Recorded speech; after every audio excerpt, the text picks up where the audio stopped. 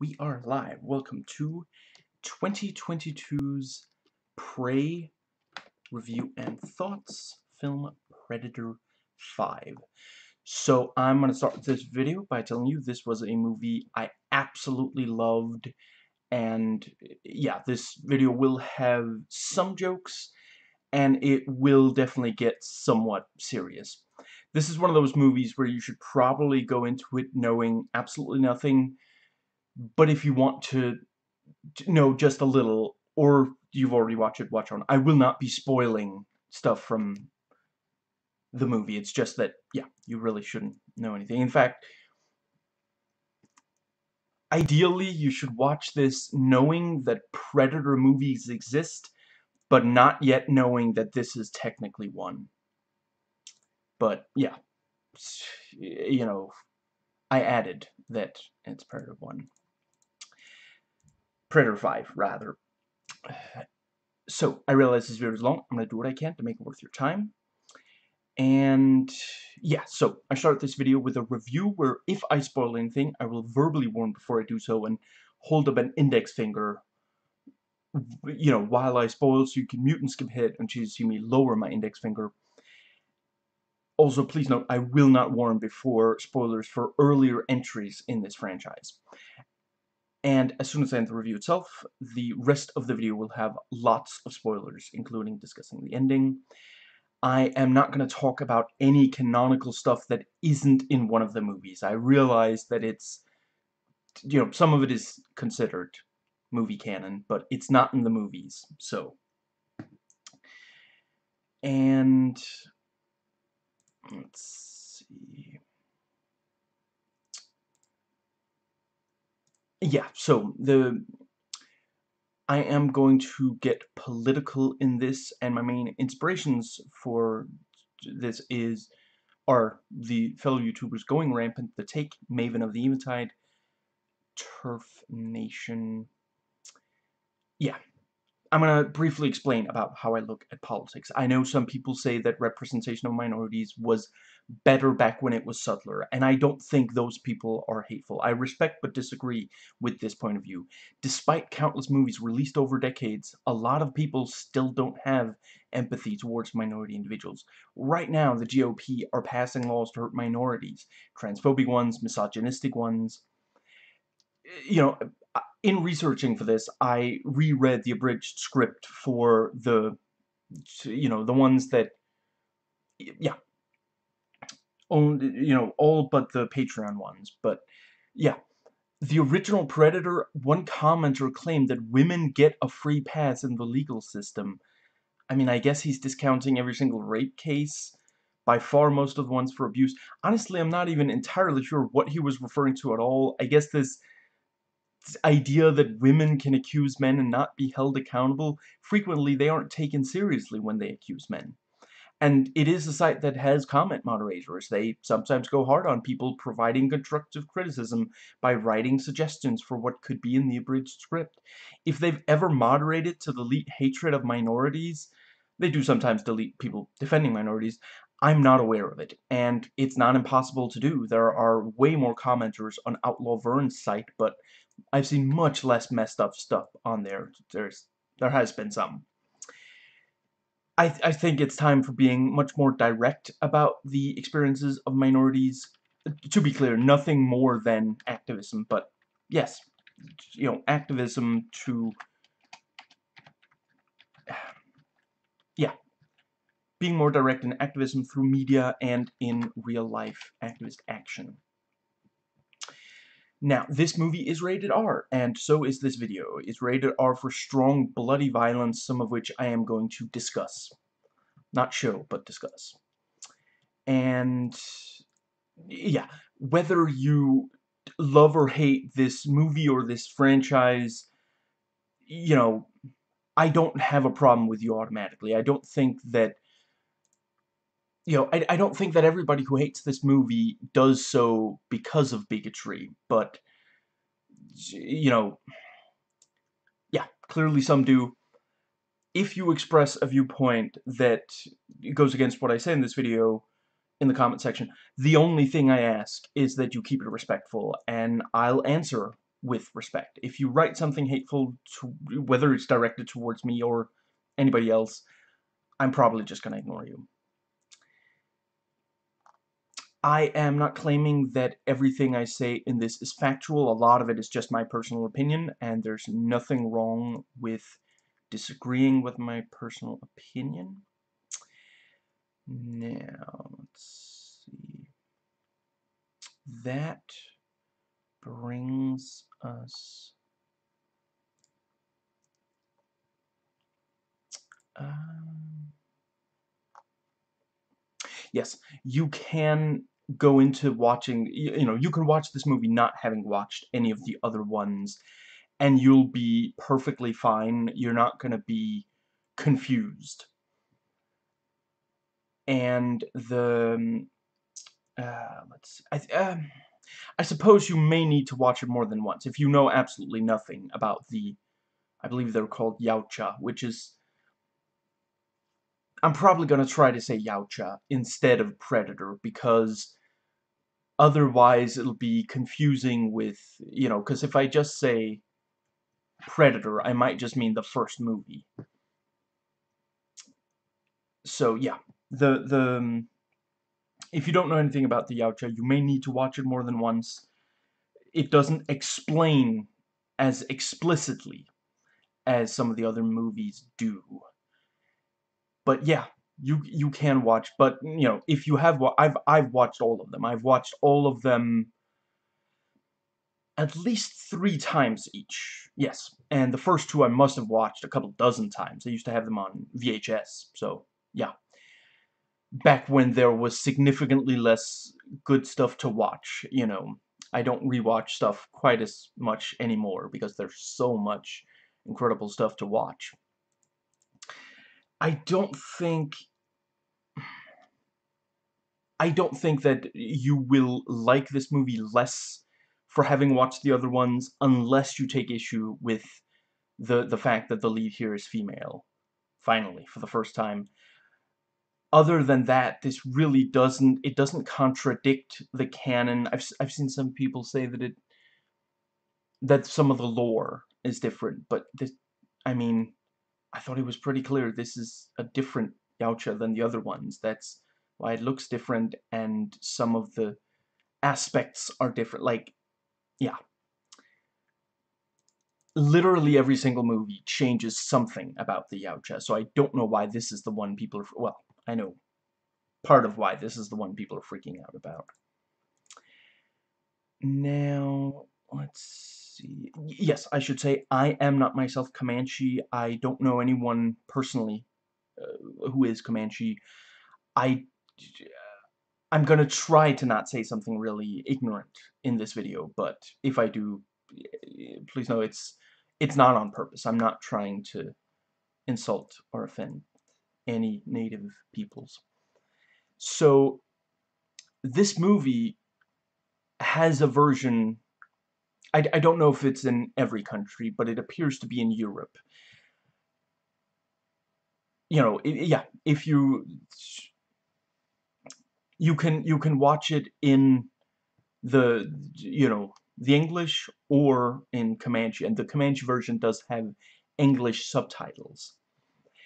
I chose to watch the Comanche version since you know, it was made by the people who made the original movie. This is not like a later redub.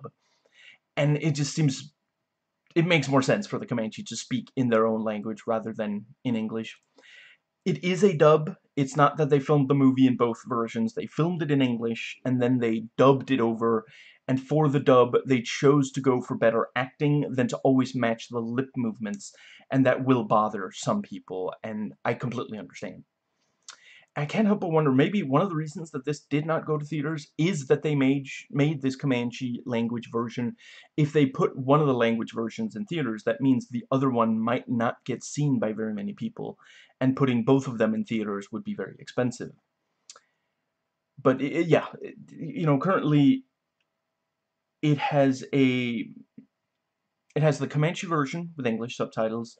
It has an English version you know, where you can also have English subtitles if you want. actually the European one has a bunch of different languages. I, I only watched the Comanche one, at least so far. Now, right, and, and some people, eh, you know, apparently not everybody found the, and found the Comanche language version on the Disney Plus website. And certainly, eh, eh, you know, I can't rule out that it's just not available in all territories. So I don't blame anyone who for that. But yeah, if you, you know, if you want to watch that one, you know, open it, open the, the page, click extras, and that that was where I found it, you know. Uh, I also did try to just click play, but it, I did not see the Comanche dub in there, so, and, you know, I, I saw one review that said they hid it under extras. I don't know, I mean, I don't know how other people watch that. I, I always check extras. I, I mean, we're paying plenty for these movies. There should be some extras. So, yeah. Anyway, the in both the the let's see. Yeah, whether you watch the English language version or the Comanche eh, you know, yeah, either the Comanche speak, you know, in the English version, the Comanche speak English. In the Comanche version, the Comanche speak English. But there are some characters who are French, and they speak French, and it is not subtitled. It's not translated in the subtitles. And this appears to be in both language versions. I believe this is because the Comanche characters do not understand French, and we're seeing the story from their point of view. I respect their decision. I'm not gonna lie, I personally, I find it frustrating when I'm watching something and I don't understand what is said. I don't mind subtitles, but I, I really don't like, so that, that was, yeah, that, that bothered me a tiny bit. And, eh, yeah, I saw one of my fellow critics point out, never seen a movie where the main cast speak Comanche, and it's very cool. Absolutely. I, yeah, I, I, I will consider watching it in English when I rewatch one of my review. This is 100% a movie I'm gonna watch again. Yeah, I the the I I will definitely consider that.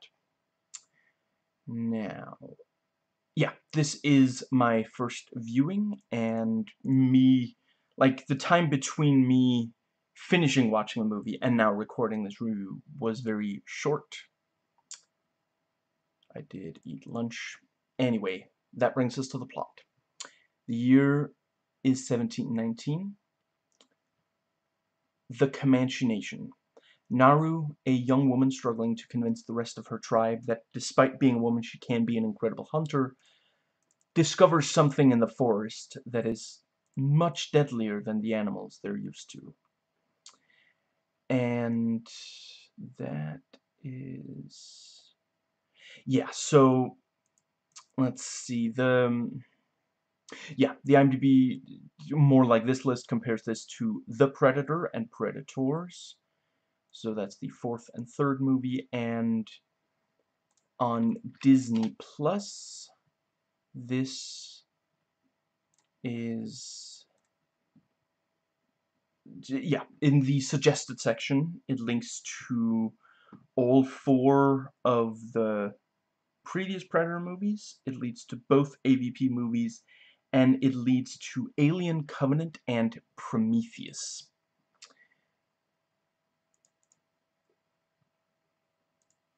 And let's see. So yeah, the I wasn't sure if I was going to be able to watch this when it first. I loved the trailer right for like the moment I saw, you know, the the trailer. Like I think yeah, at, at first it didn't. Did it say Predator Five in the? Yeah. I I'm not sure. Uh, the. I think it makes a decent enough sense to to advertise it partially as Predator Five But I do disagree with the people who say, oh, you know, they're not even putting Predator in the title. They have so little faith in it. That... Real, real quick. I saw some... One guy review it and say, oh, next time, take a chance. They did. It's in... com You know, they released a Comanche cut. And, you know, the, yeah, and regardless of which language dub, which language version you watch, the lead is a woman. That's taking a chance. I, I love how these people simultaneously say, you know, oh, you're never, you know, get woke, go broke. You're not going to make any money if you go woke. And then they say, oh, they're just going woke because the, the, you know, it's not, it's not taking a chance. Yeah. The, the, um, let's see, the other thing was, yeah, when I watched the trailer, I immediately knew I wanted to watch it, but I'm not, I'm still not 100% sure if just everything Hulu goes to Disney Plus or Star eventually, yeah, I, I've seen a couple of things that I saw advertised as going to Hulu now show up on Disney Plus. So I I'm not 100% sure I if it is ev just everything. I I hope so, but they've already put up you know, they also have Not Okay, which I also really love the trailer and I also hoped I would get to watch and yeah. And yeah, the I've I've always enjoyed the the Predator movies and the Alien versus Predator games. And the movies, I mean, they, you know what? It could have been worse. They pointed the camera at the subject and they I'm sure there's something else positive about them. I'll I'll think of it at some point. Now, let's see.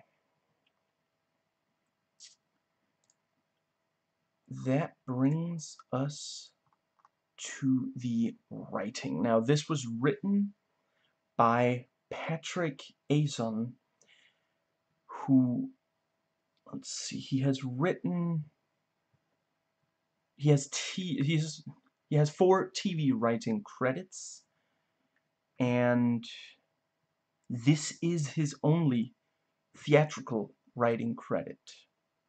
I hope he writes more. I have to admit I haven't watched the various, like, he's, uh, yeah, he's produced some stuff. I haven't watched the TV stuff that he's written. Now, the, the various characters I felt were quite credible and the way situations played out, there, you know, there is a, a clear internal logic to the movie. You know, it's not the most realistic movie, but, I mean, none of the Predator movies are particular, particularly realistic. And the, yeah, I think that might cover all I have for the writing.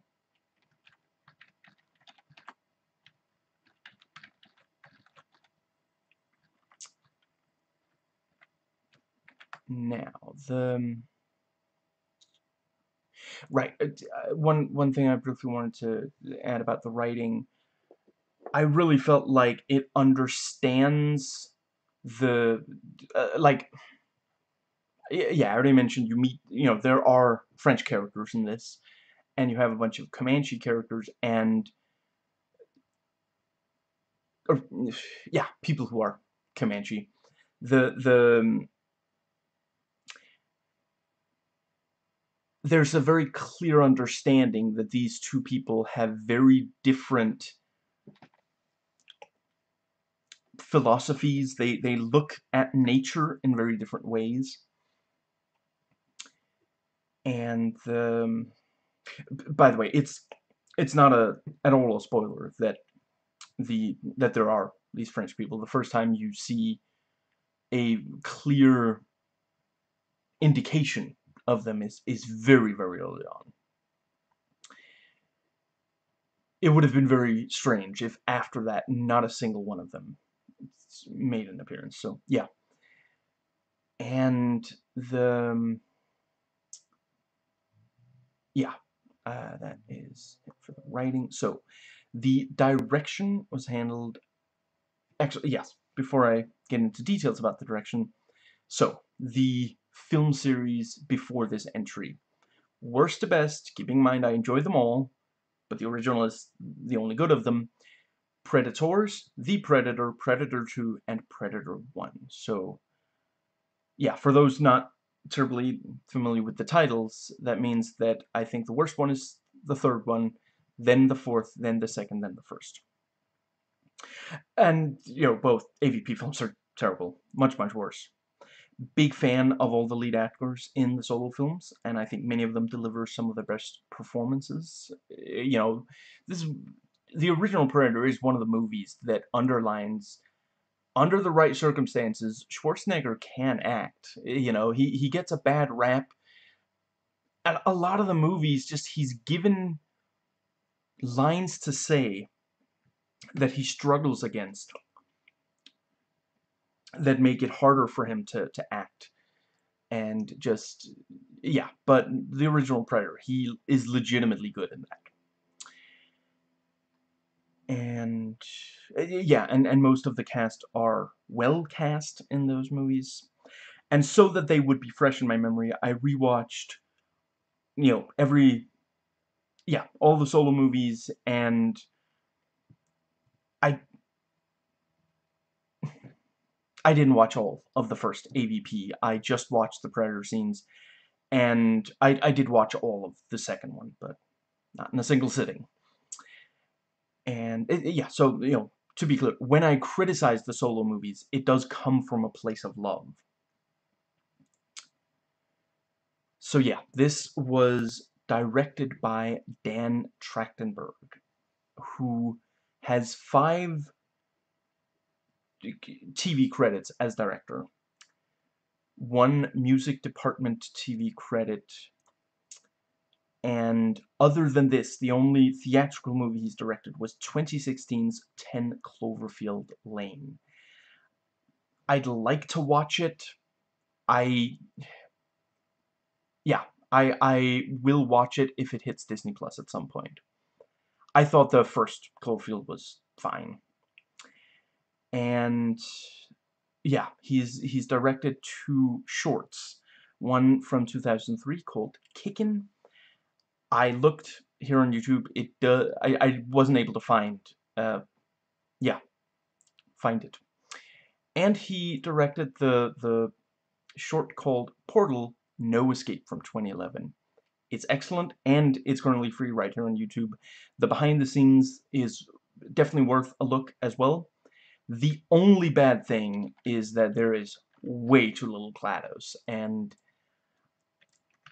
that does feel like I I I understand why that choice was made, but GLaDOS is key to the the portal appeal. So yeah. But once again, I completely understand the choice. Now, he says in interview that he wanted to make a movie where the story is told through the action. And that's yeah, this is this is a very this is all about the visual storytelling. This is not a movie where people are constantly telling each other what eh, you know yeah it's there's there's a lot less dialogue than in a lot of of movies. It's it's not not absolutely nothing but many times you see who a character is through what they do. And the you know I, I forget it, yeah it was one of the actors who said in an interview that Dan was always open to their ideas. He wanted to stay true to the spirit of the original and I think he did. He he said that you know we never really got back to the the way the original and he wanted, and yeah, he thought that they could do that with this, and yeah, they they did. And he says it's not really a prequel, it's a story apart from the others, but it is in continuity with the first film. And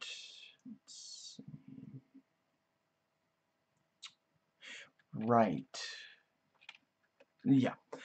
So, quoting some fellow critics, the best movie in the series since the first one. Tight, efficient, true to the first without rehashing any of the other movies. I, yeah, the, the mud sequence is incredibly tense. Definitely. Strips away the mythology. It's about hunters versus a Yautja. It doesn't copy the original. Not a ton of dialogue. It's all about the hunt. The weapons are simple and very vicious, and it is a movie about, you know, hunters and hunting, so it is a lot gorier than, you know, yeah, it, it, it it's gorier than the others, and it's a lot gorier than a lot of action movies are today and it's the rare and great soft reboot that doesn't try to go for a big spectacle. Lower budget, different idea, this is how you do a soft reboot. Character driven rather than plot driven. Deserves to be in a theater. Now. Yeah, so the opening does a really great job of just immediately you get a sense of what life is like for Naru and yeah, just, you know, not every movie has to start with a life in the day of, but it is an effective way to open a movie. And it works really well here.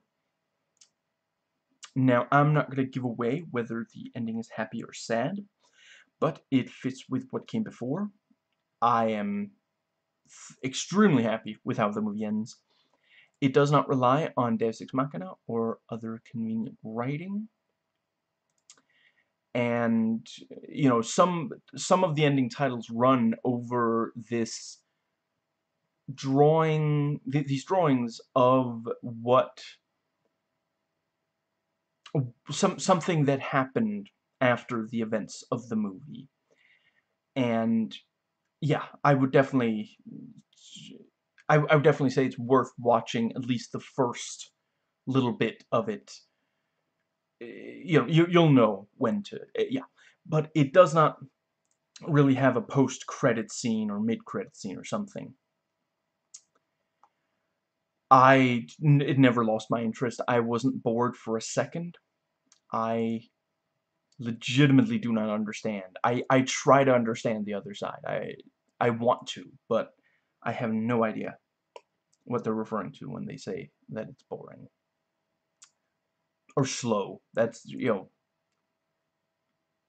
I, I haven't read every single review I found, but the I let's see I went through I went through all the IMDb voted mo the the 100 voted most useful and none of them explained how it's slow or how it's boring. It just yeah, I'll, I'll get more into it in, in the spoilers. It's hard to get into without spoiling anything. So, getting into the cast and characters. Amber Midthunder plays Naru, a young Comanche warrior who wants to protect her tribe against this unseen danger. I forget exactly who it was who said in, in an interview. It might have been Amber herself. herself as you pointed out, the first Native American action movie lead. It was about time. Like, I mean, I know a lot of people don't think very highly of Native peoples, but you do get they made a living for an extremely long time, hundreds of years,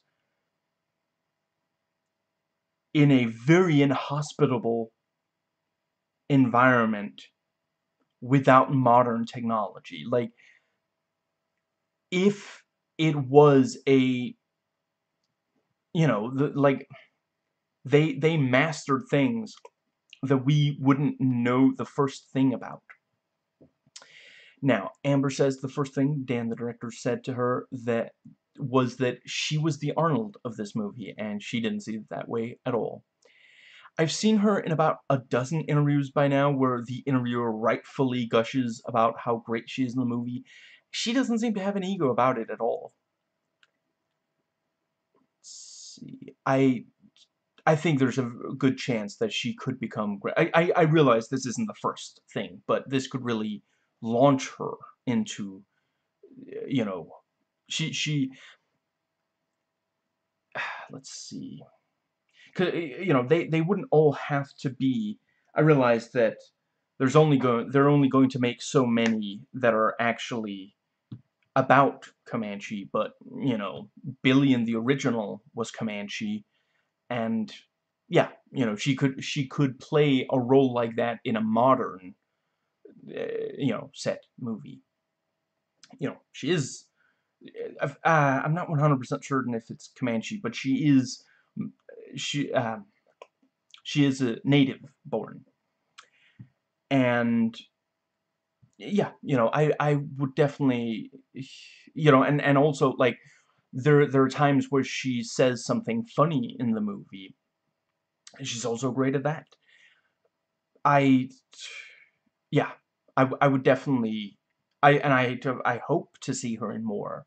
I she yeah she's really really absolutely incredible in this and eh, she can communicate a lot without words with just her face just her eyes and let's see, it, eh, she hunts using her dog Sarii. Now, I've seen a lot of people say, oh, Sarii's a good boy. I don't know. I think she might be a good girl. It's never made clear which. But good, definitely. Now, yeah, I, most of the movies she's in, I haven't even heard of. But yeah, I let's see, and she's she's 25 years old, very young to be the lead in something so big. Very very cool. And yeah, various critics have said, you know, she gives an absolutely amazing performance. Yeah. Right, I did see some guy say her name can't really be Mid-Thunder. You've got it slightly wrong. Your name can't be Mid-Thunder. Hers can, and is. Don't be jealous just because other people have culture. This is why some people prefer yogurt to Americans. If you leave yogurt alone for 200 years, it develops culture. And Dakota Beavers plays Taabe, Naru's brother. I he's he's really really good. Like I did not know. Like I I heard something about like he does he apparently doesn't have a lot of. If is this his first movie or he just doesn't have very many other credits? But yeah, he's he's great. He's a natural. And Dane DiLiegro plays the Predator, and I have not seen anything else that he's in but he does appear to play a lot of like he's he's credited as Muscle Monster and what does that say? Scare Patrol the Dragior. So these are yeah other roles that are more physical and yeah he was a stand-in in Free Guy but not as a yeah. He really does eh, you know yeah I'm gonna go ahead and yeah. Yeah that's that's a spoiler. He he moves slightly differently from some of the other predators but it it makes sense it works you know and yeah just like the whole I'm I'm really really glad that I mean overall, all of them have been great, but yeah, I'm, just, I'm really glad that we have talented people in the suit. You know, it really, their performance means so much to the success of the movie. Now, according to interview, the Predator head is on top of the actor's head rather than a mask. He says he couldn't see or hear anything. I, it doesn't, if that shows, then I didn't pick up on it, and I knew that going into it, that he did. Yeah, not neither in a good or bad way. And yeah, quoting a fellow critic, Dane DiLiegro does Kevin Peter Hall's legacy proud. Yeah. Kevin Peter Hall. Amazing talent. Like, I have to admit, I think the only roles of his I've seen are The Predator and Harry and the Harry from Harry and the Hendersons. But man, does he do it. Like, I realize that, uh, you know, it helps that Harry has such a friendly, goofy face. But just look at his movements, man. You would never guess that it's the same actor. He really understood how to make them incredibly distinct. And, you know, I, I think, was it the direct... I think it might have been McTiernan who decided, you know, Kevin does such amazing work, and he really deserves to have his face in the movie. So, you know, the, yeah, I already mentioned, I'm spoiling the movies, he's the helicopter pilot, or the, that, the pilot of the Chapa. And I have to admit, I don't really have a lot to say about the other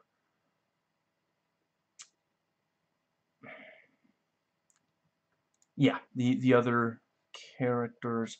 I'll yeah, just real quick, I'll say that yeah, I, I do I appreciate that some of the some of the French characters they you know one of them is listed as big beard another is waxed mustache another is spyglass so it's almost like that's what the Comanche named them eh, you know rather you know that those are not their Christian names. Those, so, so yeah, I, I appreciate that. I, I like when a movie, because really the whole movie is from the Comanche perspective. So, yeah, the, yeah, in interview, Dakota Beavers points out that, you know, the character, Naru's brother, Taabe, is not jealous, but loving and protective. It's not that you know, he doesn't want her to do well. It's that he's worried that as a hunter she can't quite, you know, he doesn't think she's ready. Now, as other critics have pointed out, there is not a lot of depth for most of the characters. You know, the the the tribe members are very one note, and the the character depth. Naru has character depth, despite what some critics have said, or user reviews have said. But other than that, not yeah, and and that is too bad. That is a divergence for a Predator movie where like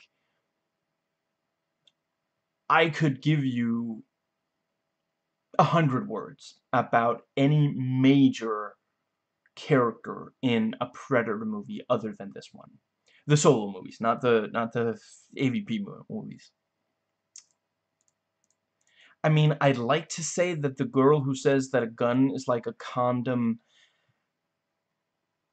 I think her mother told her never to stick her tongue in an electrical outlet, so she did, and that's why her hair looks like that. But other than that, I really couldn't tell you... Well, there are words that I can say, but I said them in my videos on that movie. Now, let's see. Yeah, you know, the, the... I try to go into whether characters get lost, blending with the background, and if it's bad, okay, or even positive, and for sure, like here, I mean, I am aware of several other characters than the ones I've mentioned, but I couldn't tell you very much of anything about them. And yeah, like the there's not really a lot of um, yeah, but, you know, we also aren't forced to spend a lot of time focusing on characters that just don't get very much development. The characters who don't get very much development either aren't very much in it or eventually do get, or, you know, eventually, or do get development. Now, but, but for sure, it is mostly Naru Let's see. Yeah, so the dialogue, some have said it's too close to modern slang and it's too simplistic and such. I thought it was fine. I mean, I think they... I think they were worried that if the movie went in too many different directions that people would be frustrated by that. So they kind of pared down anything that doesn't like most of the dialogue is about like there I guess that's okay I'm gonna see if I can find a way to finish that sentence without spoiling anything. The dialogue tends to be very plot related there aren't really conversations that don't have any relation, uh, yeah, that that have nothing to do with with the plot. And you know, I believe that even is true for the the French. I think I overall understand what was being conveyed in those scenes.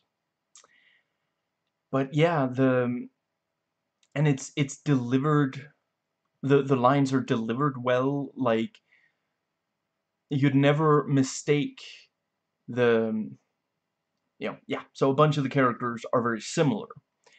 But yeah you would never mistake something a, a line of Naru's for one of the the other tribes people or one of Taabe's for yeah any any other tribes so yeah. And some of the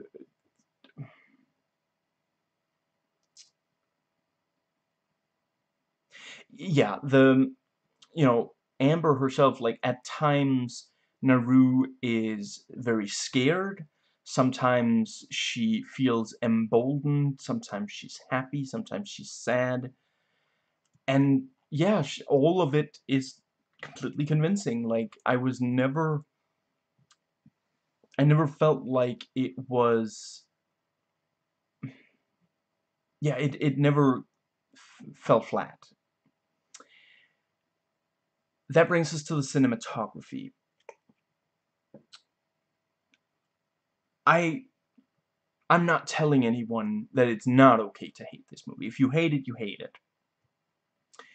But I do think if you give this the absolute lowest rating possible, all I ask is try to think back to the cinematography because that alone should bring it up at least some. And I, you know, I appreciate, I saw one critic who said, okay, I don't like this movie, but because of the cinematography, and he mentioned some other stuff, you know, he, he rated it a 5 out of 10, even though he overall did, which is also not that great of a rating, but anyway. This is an incredibly well shot movie, and anyone who, like, if you if you can't acknowledge that, I have to question your ability to even judge things like that. Just actually look at it. Just, you know, forget how much you hate everything else about the movie. If you hate everything else about the movie, just look at some of these shots. Like there's this this glorious shot of like the the sky and and nature. Like it's a a lot of it is nature. You know, that's yeah, duh. But it just the the colors and the just it, it's it's stunning looking. And this is again like yeah the cinematography was handled by Jeff Cutter who has 25 nope never mind 14 if you don't count the music video seriously IMDb has to figure out just to put music videos in a separate than feature films. Anyway yeah, uh, Right, he was DP on the 2010 Nightmare on Elm Street remake. Well, I don't, it's, it's shot fine, you know, I, yeah. And, let's see, 10 Cloverfield Lane, so they worked together on that, him and the director.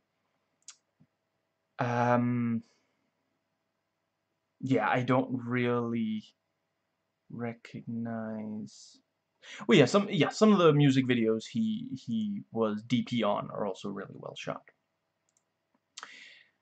But yeah, gonna quote fellow critics here. Stunning cinematography, the best the series has ever looked. Cinematographer Jeff Cutter, Paul Orphan, does a good job of capturing them and bringing out the inherent menace, them being the fights, and bring out the inherent menace of the surroundings, whether lush green woodland or the desolate remains of a burnt-out forest. Yeah, just the the colors and the just yeah, in, absolutely incredible. And yeah, like there was not a single shot like let's be perfectly honest. There have been some really badly shot action scenes in some of these movies you know, I would say it's it's basically all good in the in the very first one. And let's see. Some of the third is definitely really well shot.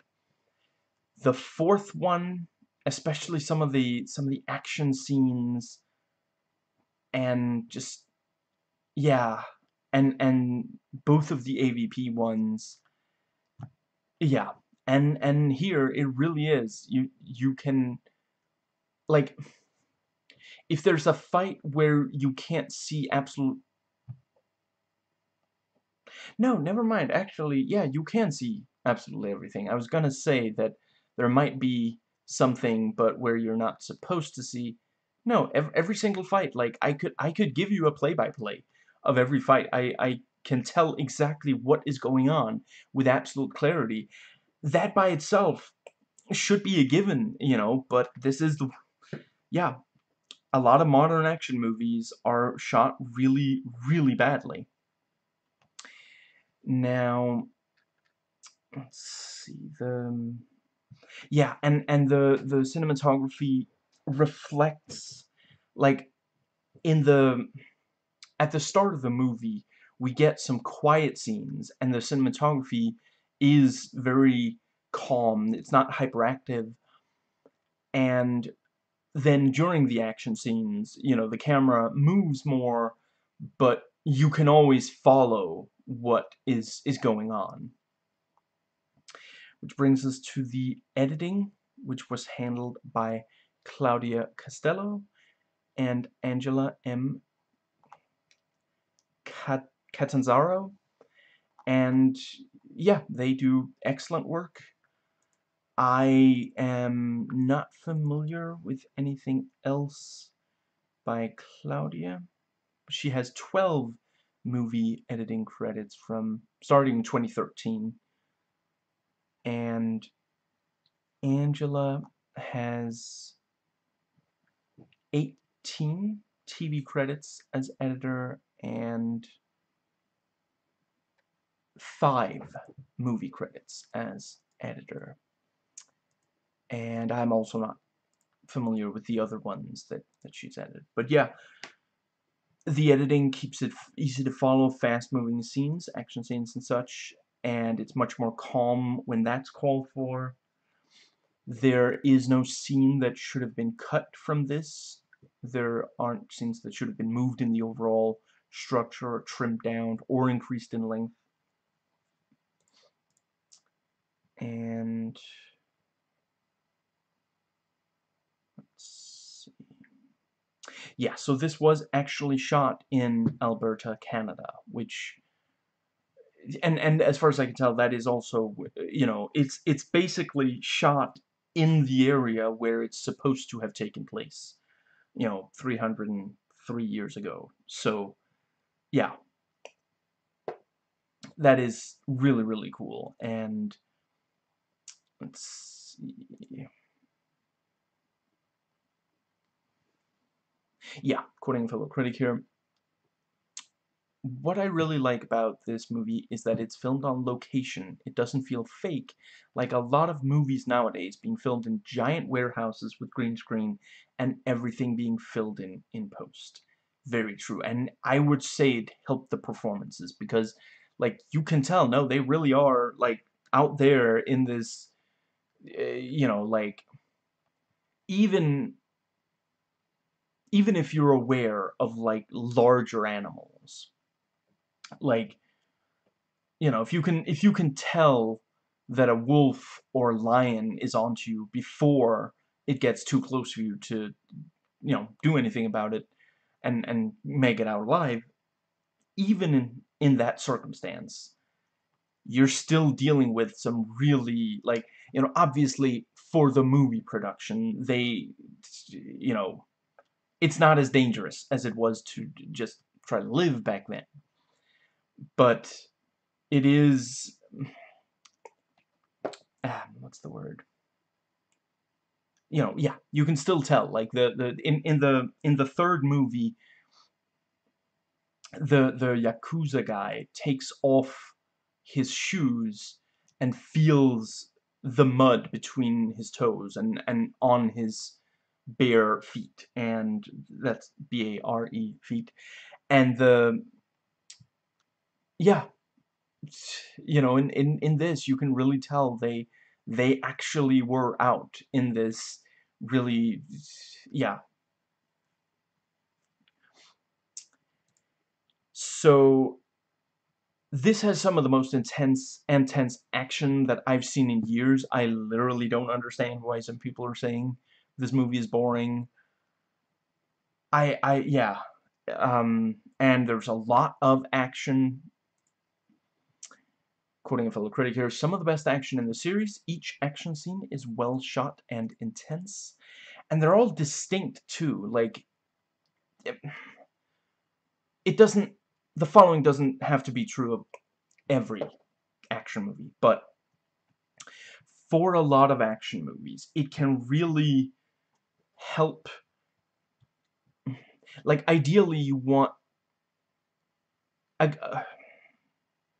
something that some action movies strive for is that an action scene like it should tell part of the story rather than the story stop so we can watch an action scene it should be born out of the story it should you should be able to tell when it like you should be able to sit down and watch one of these action scenes out of context and be able to place it roughly within, you know, without having to watch the movie, you know, say, is this one of the early action scenes? Is it the climax? You know, I would say... I, I would argue, for example, the... I mean, yeah, really, the, the, the Predator, this, this series itself, you know, this, this movie, but also the, the entire series, the solo movies do a pretty good job of that. You can usually tell if something is, you know, early or late, or climax, or introductory, and, and this kind of thing. Yeah. And, again, like, I, not every action movie has to do that. Some of them do really well without something like that. But this is an action movie where it makes a lot of sense for that to be one of the goals, and it really, really works. Like, early action scenes, I guess that's spoiler. I'll just say that something changes over the movie that greatly affects action scenes. And the, let's see, there's a lot of hunting and killing and uh, let's see. Yeah some some fights. And yeah that brings us to the score so this was handled by Sarah Schachner and yeah, she's done a bunch of she she yeah she scored seven video game. Let's see, yeah, so two Calls of Duty, one called Anthem, and four Assassin's Creed.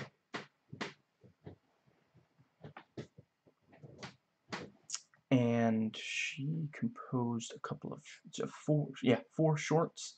She has four TV credits as composer. This let's see oh right right yeah and three movie credits as composer. This the Lazarus effect the Lazarus effect and remains. And yeah she did an incredible job let's see, the, um, yeah, uh, quote a fellow credit here. The music is good throughout, but it becomes excellent in the third act because of some pulse-pounding, tense pieces of music. Yeah, it, it really, and, and it worked with the sort of, yeah, I saw one critic, I forgot to copy it in, but I saw one say that some of it sounds like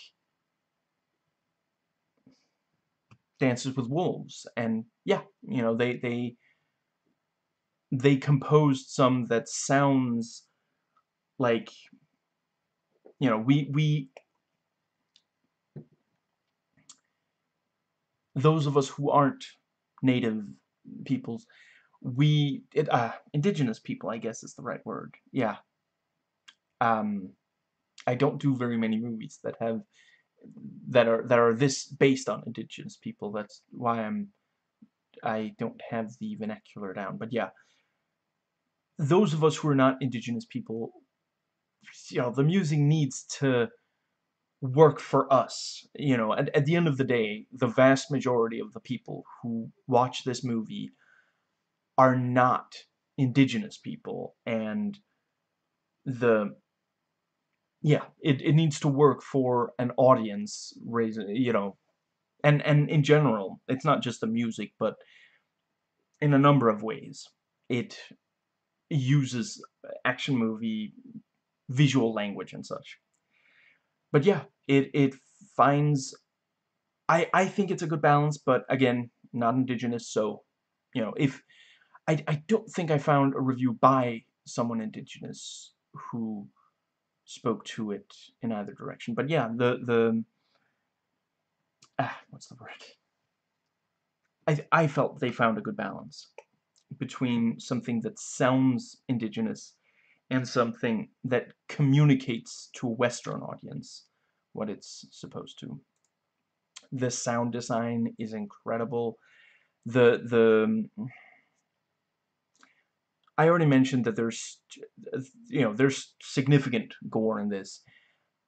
The noises for the gore are also really grisly yeah, with a with one S, not two Z's, Z's.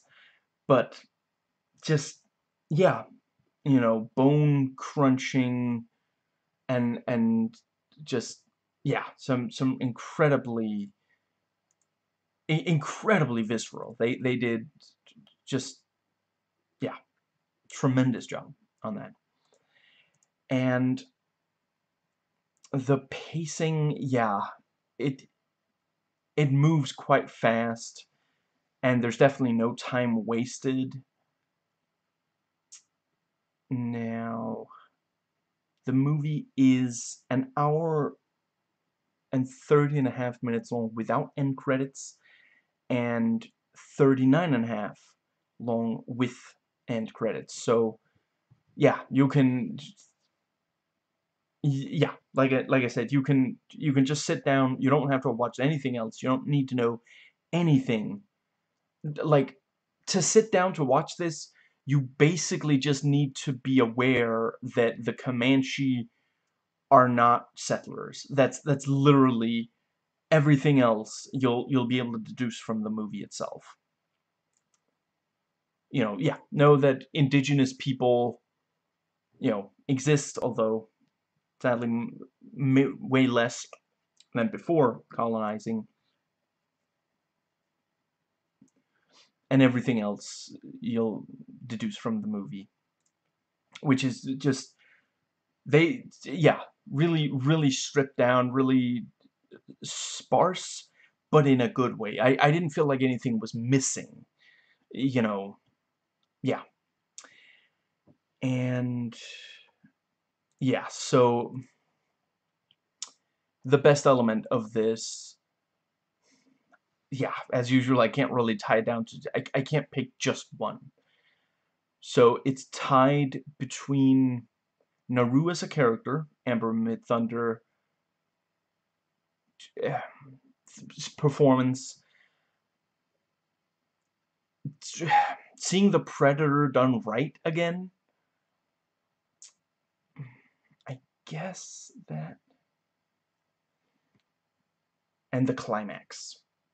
Holy crap, the climax. I'm fairly certain that my heart has not like returned to its its usual like yeah man that was that was intense so the the worst aspect is definitely the CGI and yeah so the worst thing according to others it should have gone to theaters and there are other criticisms, but I'll get into them in the spoiler sections.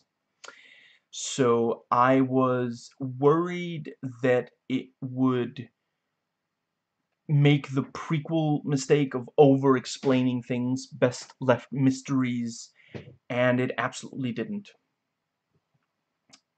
And I was most looking forward to a Native American star as a hunter, and the movie exceeded my expectations. I really want to see more work by these people. I'm not sure that it would be that the I, I think it would be fine to hold off on Predator movies you know for a while although you know now that Disney has the property I can imagine they're going to keep trying to get more money out of this doesn't feel like this feels like a real passion project. It doesn't feel like a paycheck, not for anyone working on it. Now, the trailers do give away too much, both of the ones I've seen. I do think that it's difficult to completely, like, the fact that this is a Predator movie is a big part of the appeal but the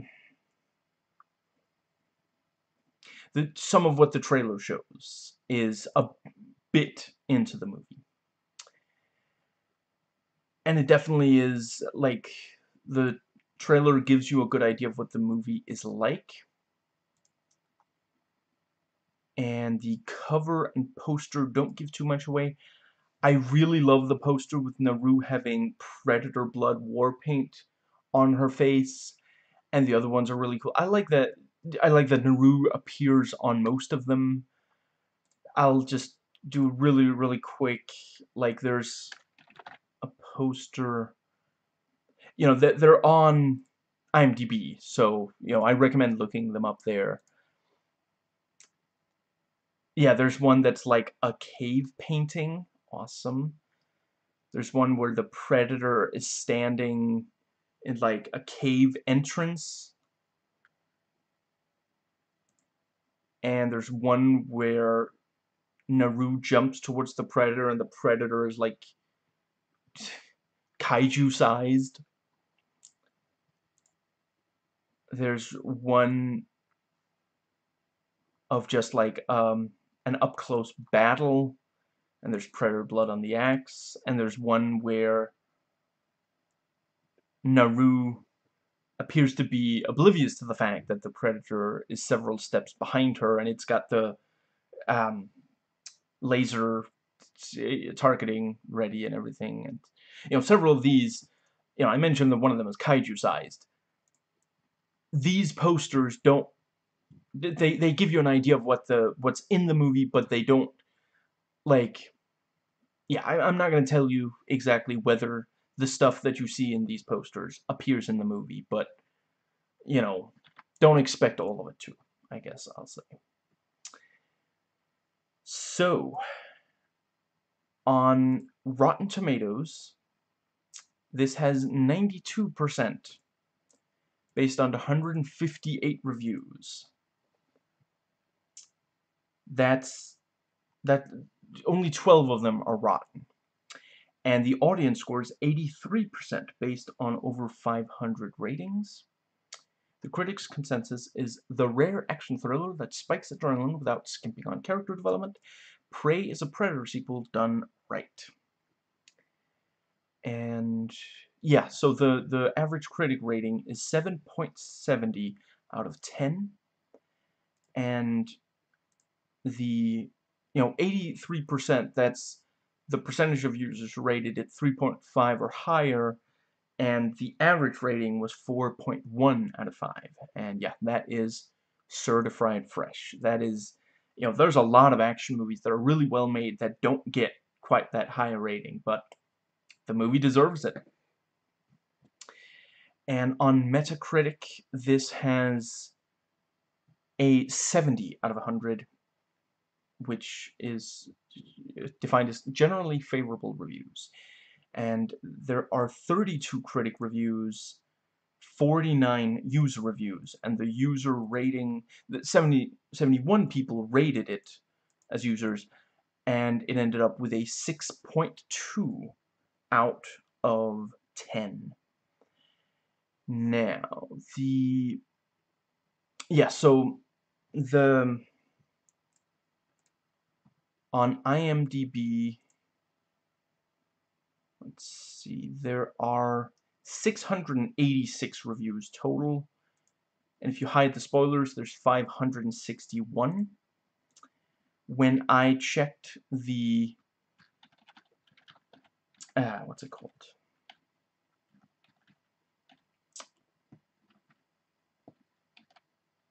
Yeah, right. The the um, 100 the 100 top voted IMDb user reviews.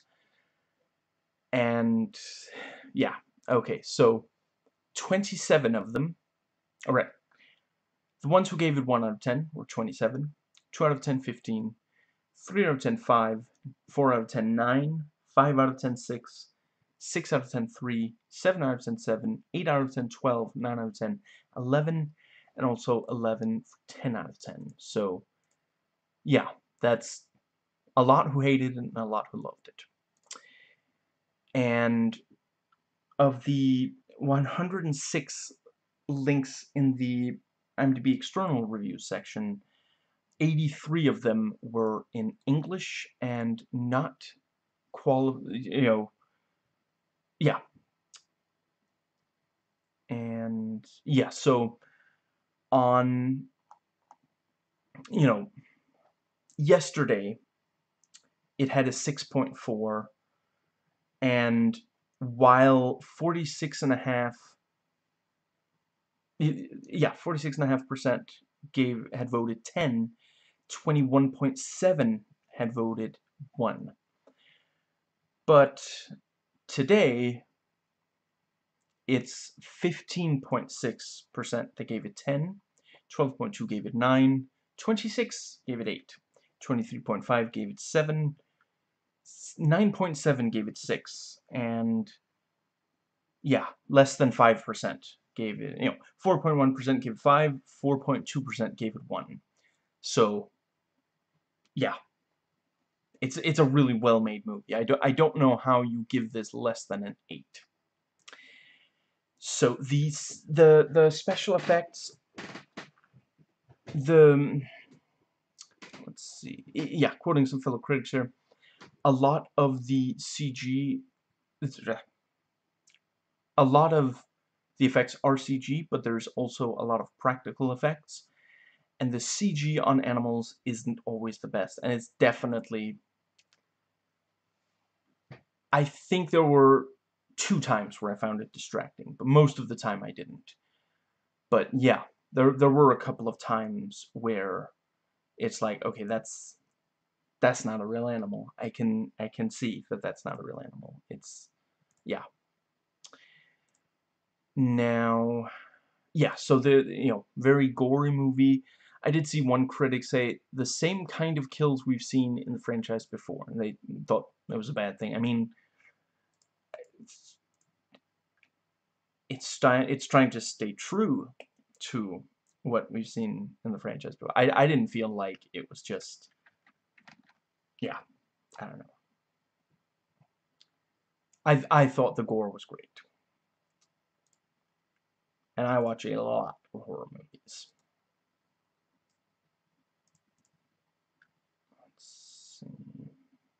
And it was also like, you know, sometimes gore is just cool. Some of the gore in this is cool, but there's also some gore in this that's very like unpleasant looking and really gets a gut reaction out of you. And, you know, considering that this is about a extraterrestrial hunter that, you know, skins people, I feel like, yeah, I should be uncomfortable. And, you know, the, the gore in the first one, some of it, some of that is also really, yeah.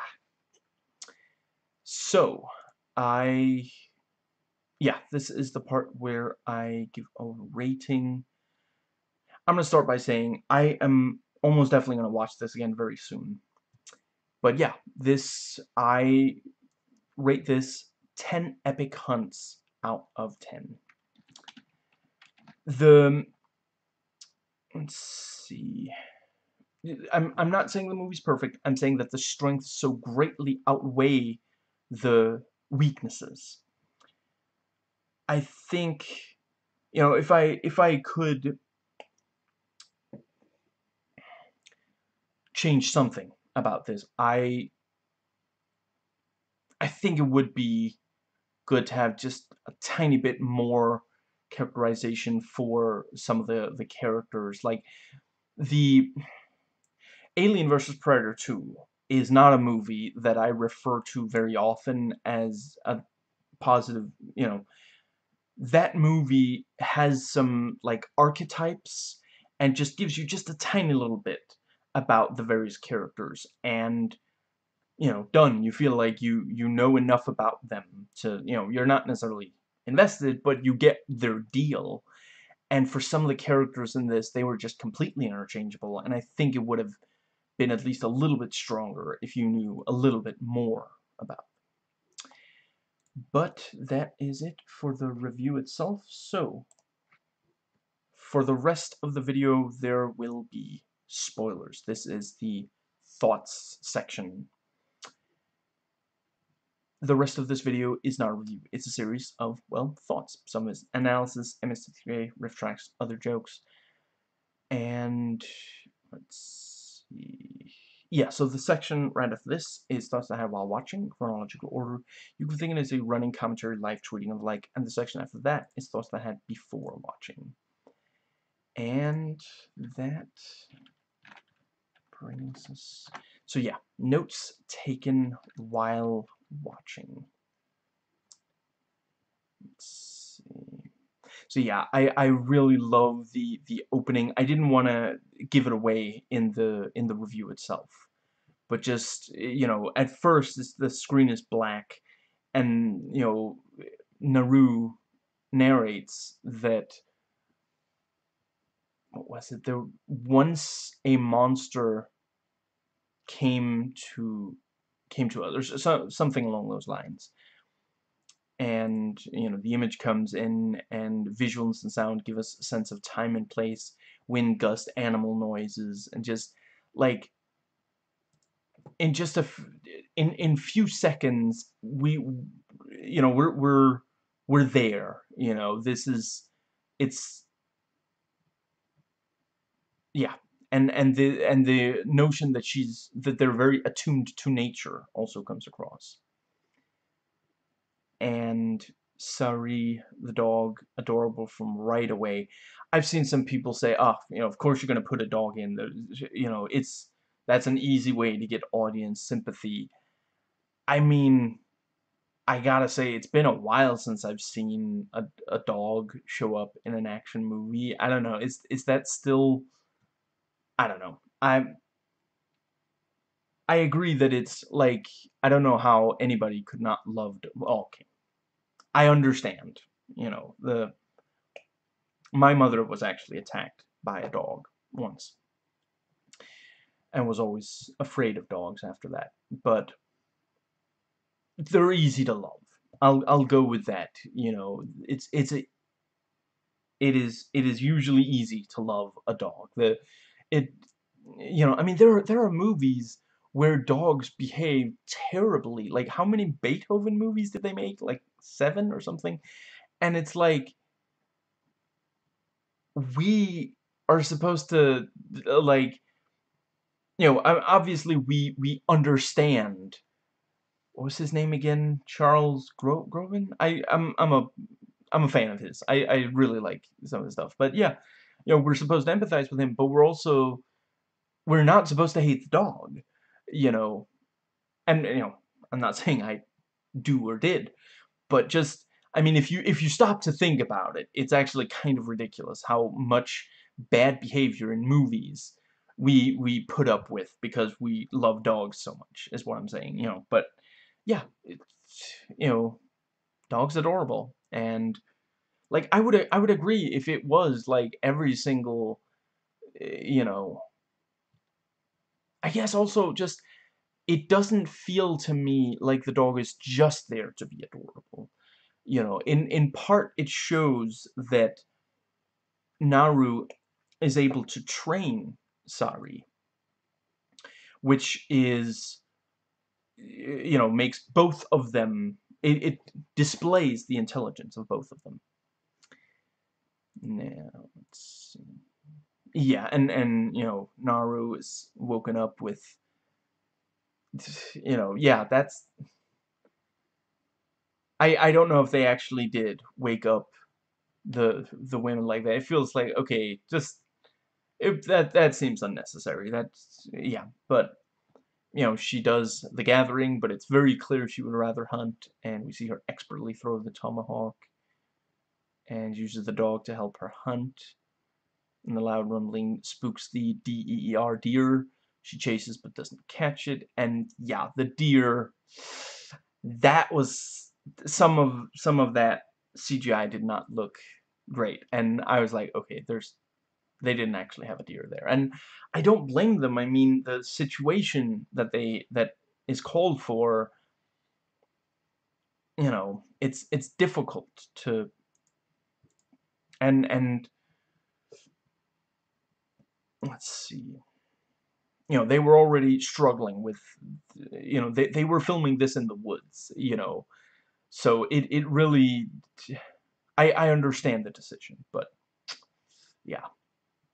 And poor Sarii getting foot paw caught in a trap and you know the trap will be used against the Yautja later and Naru sees the the predator ship and you know she does know what it is and like we the viewer you know those yeah anyone who went to this movie having already watched a predator movie you know yeah, you you we we knew exactly. Yeah, I I gotta I gotta see if I know someone who's never watched a Predator movie. Show them this, and and like see how quickly they they deduce these these things. Yeah, but it's also the movie doesn't eh, you know waste forever before you know the the predator does stuff even really early on now, I, I really love the transition. Like, she, let, let's see. Yeah, the we see the we see this guy and the, the predator ship goes you know through the image and we still see that same sky and then the camera pans down and now it's Naru and Taabe together. I I really really like that. I I love when people can work in something like that. It, it didn't feel really awkward and forced.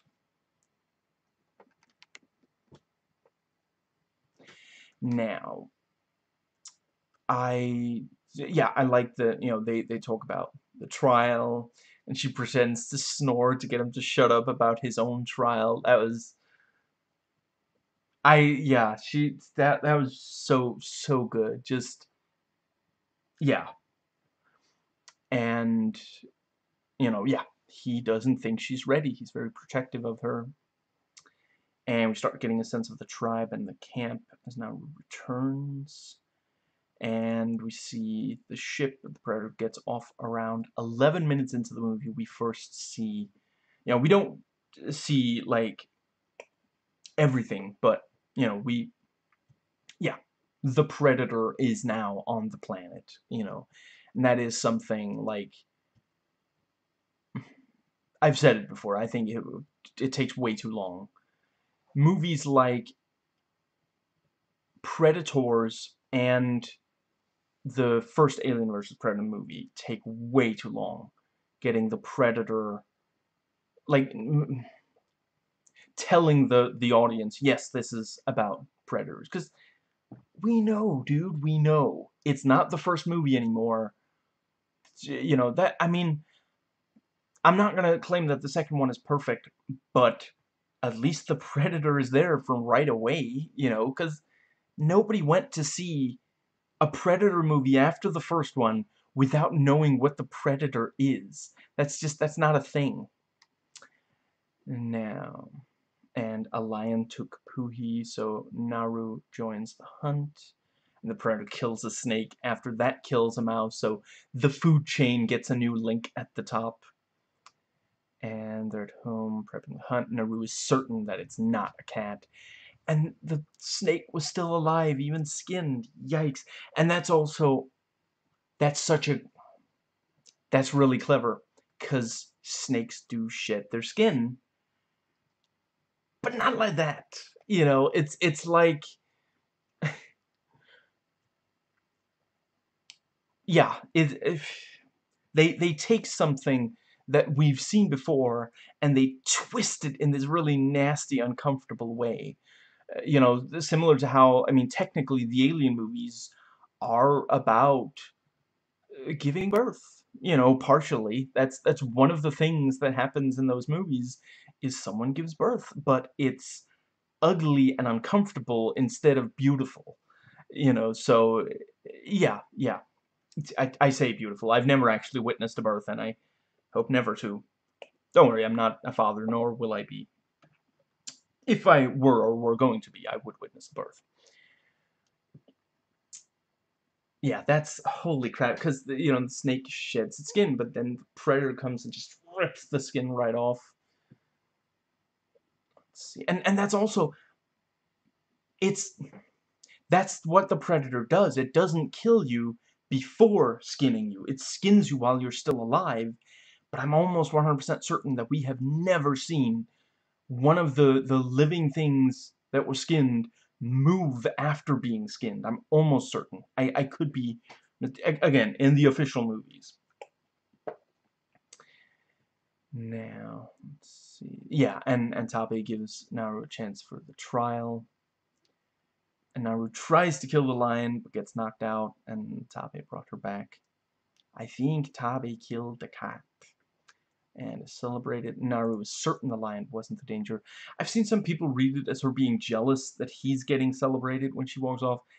I take it as she thinks that they're celebrating prematurely because the lion was not the greatest danger threatening. Like, it's not that she can't be happy for him. It's that she's worried that they're going to lower their guard and more of them are going to die. And when Taabe talks to her afterwards, that's what she says. She doesn't say that she's jealous of him, and it's not like she's scared of speaking her mind to him. She makes fun of him all the time, calling him boring. But, you know, some viewers didn't even consider that option, even when it's literally stated. I gotta say, I'm not 100% sure. Like, there was that part where Naru and her mother are talking about medicine, then Taabe comes in, and he says something like, you should listen to me. And then she responds, we're not asleep. I get that she's making fun of him, but is she, one, saying that if we listen to you, we would be asleep because you're so boring? Or two, is she saying when we want to sleep, we'll listen to you because you're so boring? Either way, I love it. And Naru was woken up before her brother for the gathering. I don't know for certain about Comanche uh, culture, but certainly there are a lot of societies where women are expected to work much harder, much longer than men, given no credit for it. Stereotypically speaking, speaking, raising a family is a lot of very hard work, and traditionally, the woman is given all the woman is given for it is the family, and sometimes the family can be very abusive towards her, especially the husband, and she doesn't have very much recourse. You know, if a, a man who gets a divorce can just remarry, but a woman who has been married is, you know, has a much harder time finding someone new to marry her. And Naru finds some predator blood. And the predator finds a wolf hunting and then kills it, rips out its spine. Yikes! That's like, again, like I'm used to go. I've seen so many gory movies. I've been watching gory movies for 20 years. This was still really, really. I mean, I guess part of it is also that the the wolf looks somewhat like a dog. I don't like wolves. I I don't I don't have a problem with them. I know that they're not actually anywhere near as eager to hurt human beings as a lot of people have thought. You know, if if a wolf attacks a human being, it's because it's delirious, hungry, or protecting its territory. Or, or dying, possibly. You know, stuff like that. But I'm not... I would never keep a pet wolf but it looks enough like a regular dog, a, a domesticated, tame animal that just like, you know, yeah, that, and, and they hold the shot too. Like, the dog is lying there, let's see, the uh, wolf, this is the wolf's head, and the prayer you know, like cuts in here, rips out the entire spine, and just like, okay, we get it spine's being removed. It, it takes like several seconds, and we're just sitting there watching this. I'm not complaining. I'm not complaining. I'm just, yeah. You know, it, it helps really hammer home this thing is nothing to be trifled with, you know. It is... It is a bad motherfucker and an ugly motherfucker it's it's yeah, it's a it's a badass motherfucker. And Naru throws the tomahawk, misses the rabbit, so she ties a string around it so she can easily retrieve it. She spots another rabbit. Smash cut, she killed like a half a dozen of them. And yeah, the movie shows Naru having ideas, mastering skill sets that her peers don't. And hopefully this can help inspire young women to see that they too can do something that others can't. Like, uh, there are a lot of incredible things that have been done by women.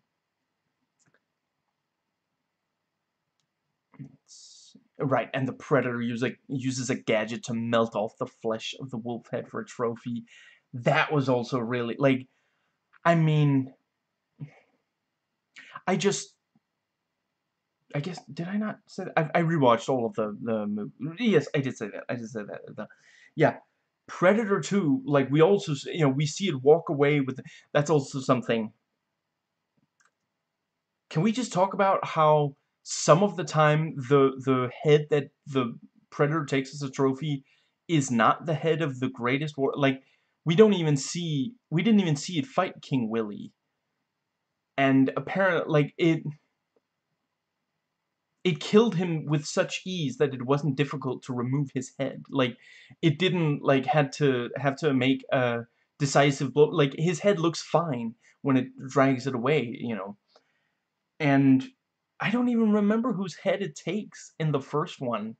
But I'm, I mean, it's not one of the, one of the very best of the, yeah, anyway yeah, you know, in in the second movie, we see it do something to remove, like, oh wait, yeah, we see the we see it suck brains out. I I'm not sure we see it do anything about skin and, and flesh. A anyway, but yeah, here just yeah.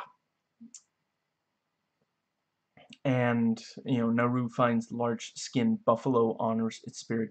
I saw a reviewer that pointed out that neither Naru nor the Predator can understand why would you skin you know, a, a, large buffalo and just leave the meat to rot there like that. You know, that's the the the French trappers are below even the standards of the predator.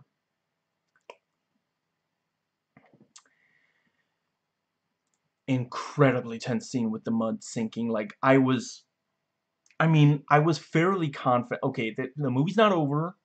She's the protagonist. She's probably gonna make it but like this slow and the and the fear in her eyes and it just holy crap and just slowly sinking and and you know she gets the tomahawk and she throws it and and pulls and and she you know it didn't it didn't stick she man she throws it three times where it it like she can't use it to pull it and the fourth time she's able to pull herself out i like holy crap that was tense and she hunts the bear and struggles. You know, the part that was in the trailer, her firing an arrow at it and then running away, that wasn't the plan. That was what happened when things went wrong.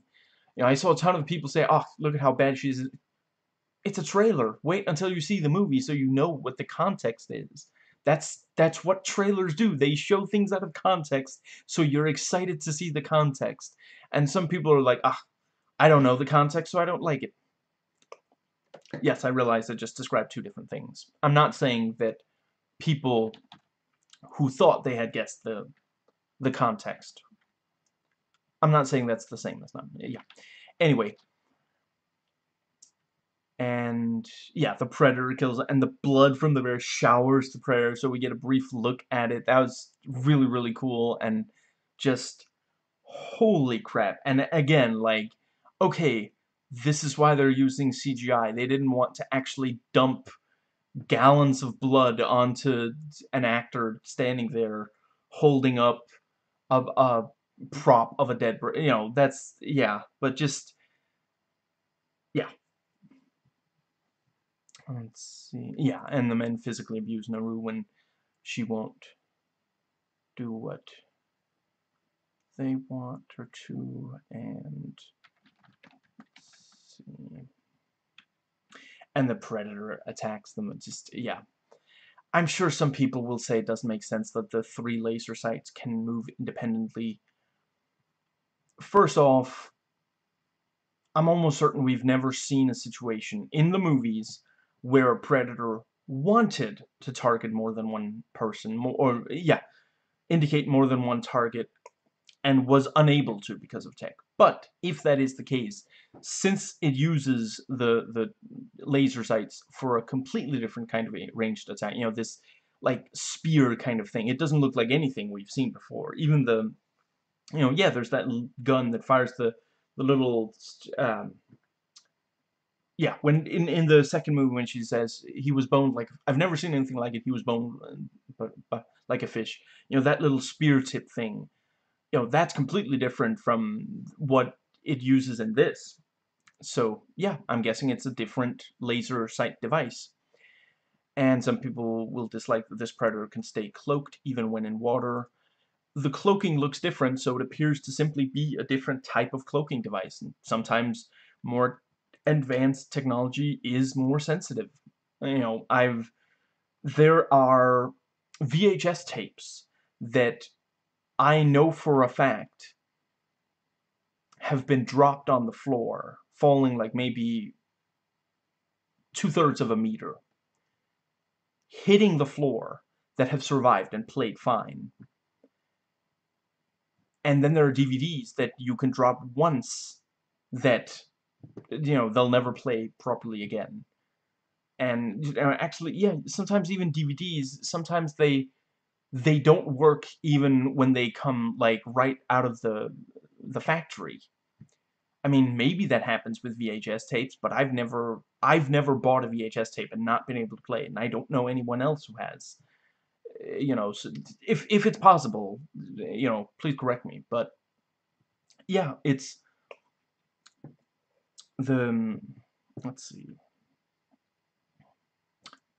phones are another thing. Eh, you know, if you drop a, a smartphone and the the screen hits something hard, that's it. But you know, I mean, I've seen movies where someone used the phone as a projectile weapon and then it still worked afterwards. You know, you guys you got to make sure it's still plugged in or whatever, but yeah, you know, so yeah. Let's see. Great fight between two of the male hunters of the tribe and the predator. That was really just yeah. Right, uh, about that I um I feel like I saw someone say, you know, why is Naru the only woman who doesn't, who, who wants to hunt instead of gather? First off, we don't know for sure that she is the only one. There's nothing in the Comanche dub that says that she's the only one. And let's see, there was something else. Right, she might just be the first one who has the guts to say it and to act on it, you know, and by the end of the movie, she's proven that she can hunt. Maybe some of the women of the uh, tribe will, uh, you know, now also try to hunt and will excel at it.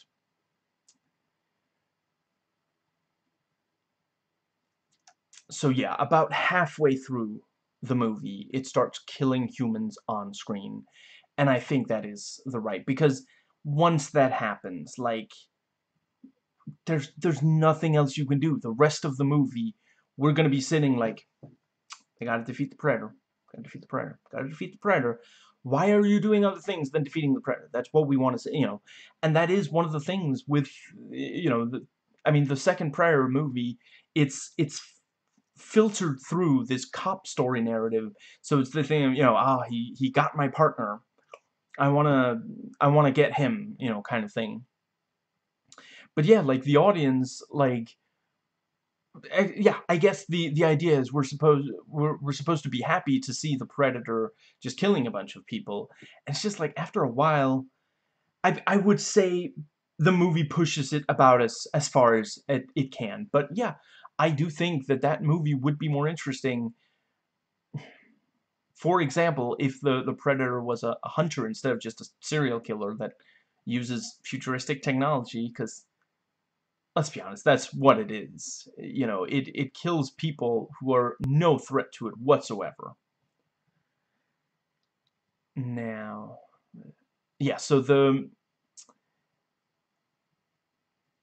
Yeah, so the the uh, the French show up and Naru's taken by the French and they abuse the dog. And yeah, it's clarifying, you know, the French, the that one French man killed the, the buffalo. And he bullies her, presents to hit her, and then she grabs the thing and hits him, and he's like, okay, fine then, you know, and walks off. I, I was he considering shooting her after that, and then one of the others said, no, we can use her as bait, I guess. And they have a man who speaks Comanche and French, and they cut Taabe right in front of her. Just, ugh. And this, yeah, the siblings are tied to a tree as bait. The trappers hunt the predator. And that's what you chose for a trial? So sarcastic sense of humor does run in the family. You know, the mother laughed at Naru's sarcastic crack at him, and now he made one, so yeah, it's just the, the entire family has a sarcastic sense of humor. I need a horse. I want to make an Arby's sandwich. And an hour and one minute in, first time we see the full Predator fully uncloaked. And Taabe admits to her that she did have the lion. Very tense fight between the trappers and Predator, and we get some Predator 2 type stuff where it just slaughters a bunch in very little time. But I honestly, I cared every time. I was never like, oh, now there they go. You know, I wasn't emotionally invested all the uh, all the time, and you know, a lot of the ones that died, I wasn't like, oh, you know, I'm so sad that they're dead. But I, I was never just bored, which again, you know, I've seen some people compare this to Jason X. That movie gets very little of a reaction out of me. And that sucks because I think there's something there. And I do like Jason Voorhees overall. I think some of the movies are really, really fun. Having watched all 11 and the the versus movie. And eh, yeah, you know, there's that bit where one of them like cuts off the mask and there's like steam and she's like, "Oh, poor baby," kind of thing, you know. That is like that gets that, you know, that gets me to like cringe at, at intentionally, you know. That's an intentional. It wants me to cringe, you know. But like when he kills people, I'm like, okay, I mean, some of the effects look good. I appreciate the creativity in some of them. But it's just, yeah. And, and with this, I always cared. Now, I really love the look of this predator. Just the, the mouth, you know, the... One of the things that the Predator, that, that, that are really unique about the Predator have always been the mandrills, which I had forgotten, but the... Isn't that the right word? Mandrill? Hold on for a second. I'm just real quick. Up. Oh. Mandible, I think is the word. Yes. I managed to remember that that's the... Yeah, yeah. You know, I, I just rewatched the, the this documentary about the first Predator, and apparently, you know, Stan Winston designed it. James Cameron suggested mandibles, you know, because they were next to each other on a plane as, as yeah, Stan was drawing the, the design for the, the Predator.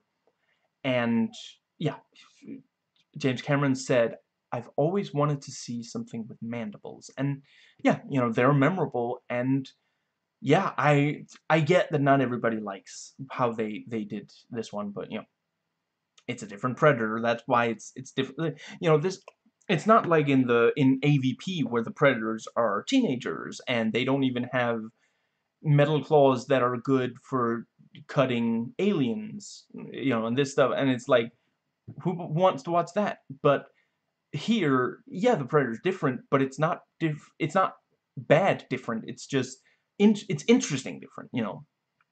And the fact, yeah, the the bigger mandibles, you know, yeah, I I thought I there's a very inhuman kind of just the the way that yeah yeah the the mandibles or is it just me they I feel like they look even more inhuman than they did before. Before it kind of looked like, okay, well it has a it just, oh, it has like teeth that stick out here. But this one doesn't, seems like it doesn't have a lower jaw, it just has the mandibles. And it's just, yeah. And, and the way that they open so far, you know, reminds me kind of like a, a Reaper from, from Blade 2, you know, just really opens out far. And just, yeah, but but yeah, the the um, let's see, what was the thing that I wanted to? Oh yeah, yeah, about the about the look. I like that the it doesn't have a futuristic mask. It just it has like, I mean that's got to be like part of the skull of an animal it killed, right? And it's it put the the laser uh, thing on top of that now, yeah, and you know, she talks about chewing off a leg, and we're like, oh, is she really gonna, you know, and then she frees them without that, with the clever, snappy line, I'm smarter than that. And the three bombs versus the French, and it's like, it does have a little bit of that thing of like why are you why are you moving towards something that's making such an ominous noise but i mean that's that's how these movies go you know? You, you got to apply I, I mean look at how bad at tactics the rebels in the first movie are. You know yes i realize that the you know arnie and his gang are their team his unit are incredible at what they do, but still, like, some of the the guards and yeah, some of the rebels, they're just, I, what are they doing? How how are they losing this easily? You know, it's because it's a it's a Hollywood action movie. So that's the, eh, but yeah, you know, the fact that like it pops out and just the the and we let's see. I think yeah, it cuts to like really far away and just see the the explosions. Yeah, and she saves the dog from the French. Holy crap, that was tense. That entire bit with like she throws the and and kills and just, uh, wow. Like throughout, I was on the edge of my seat. My my heart was in my throat. I was just holy crap. And Naru heals the interpreter. And the way she talks to him, you know that thing doctors do when they talk to the patient and make him feel okay? Bedside manner, yeah. Her sucks, dude. And the cold blood hides the interpreter at first. And she uses that in the fight too. Let's see. And the predator threatens the dog and thankfully it was saved. Like, I literally, I was sitting there thinking they're actually going to do it. They're going to do it because they've been so brutal throughout this movie. They've, you know, they've showered us with gore, showered the predator with blood. Now, yeah, and, and we see that the gun wasn't loaded, and wow. So, you know, she, she points it and clicks, uh, like, oh no, you know, but she she has to do something to you know, so she like yells to to distract the predator instead. And um, you know, she loads it and and goes over the things she's just been okay. Put the powder in, not too much, not too little, and and the whole thing, you know. And Taabe tells her to leave, and kills him. So in part, she fights to avenge her brother. And she really did leave when he said to. I honestly, I thought that was going to be the part where, you know, yeah, where she just immediately fights. But no, she she went back and, you know, washed the blood off, and then she made the decision.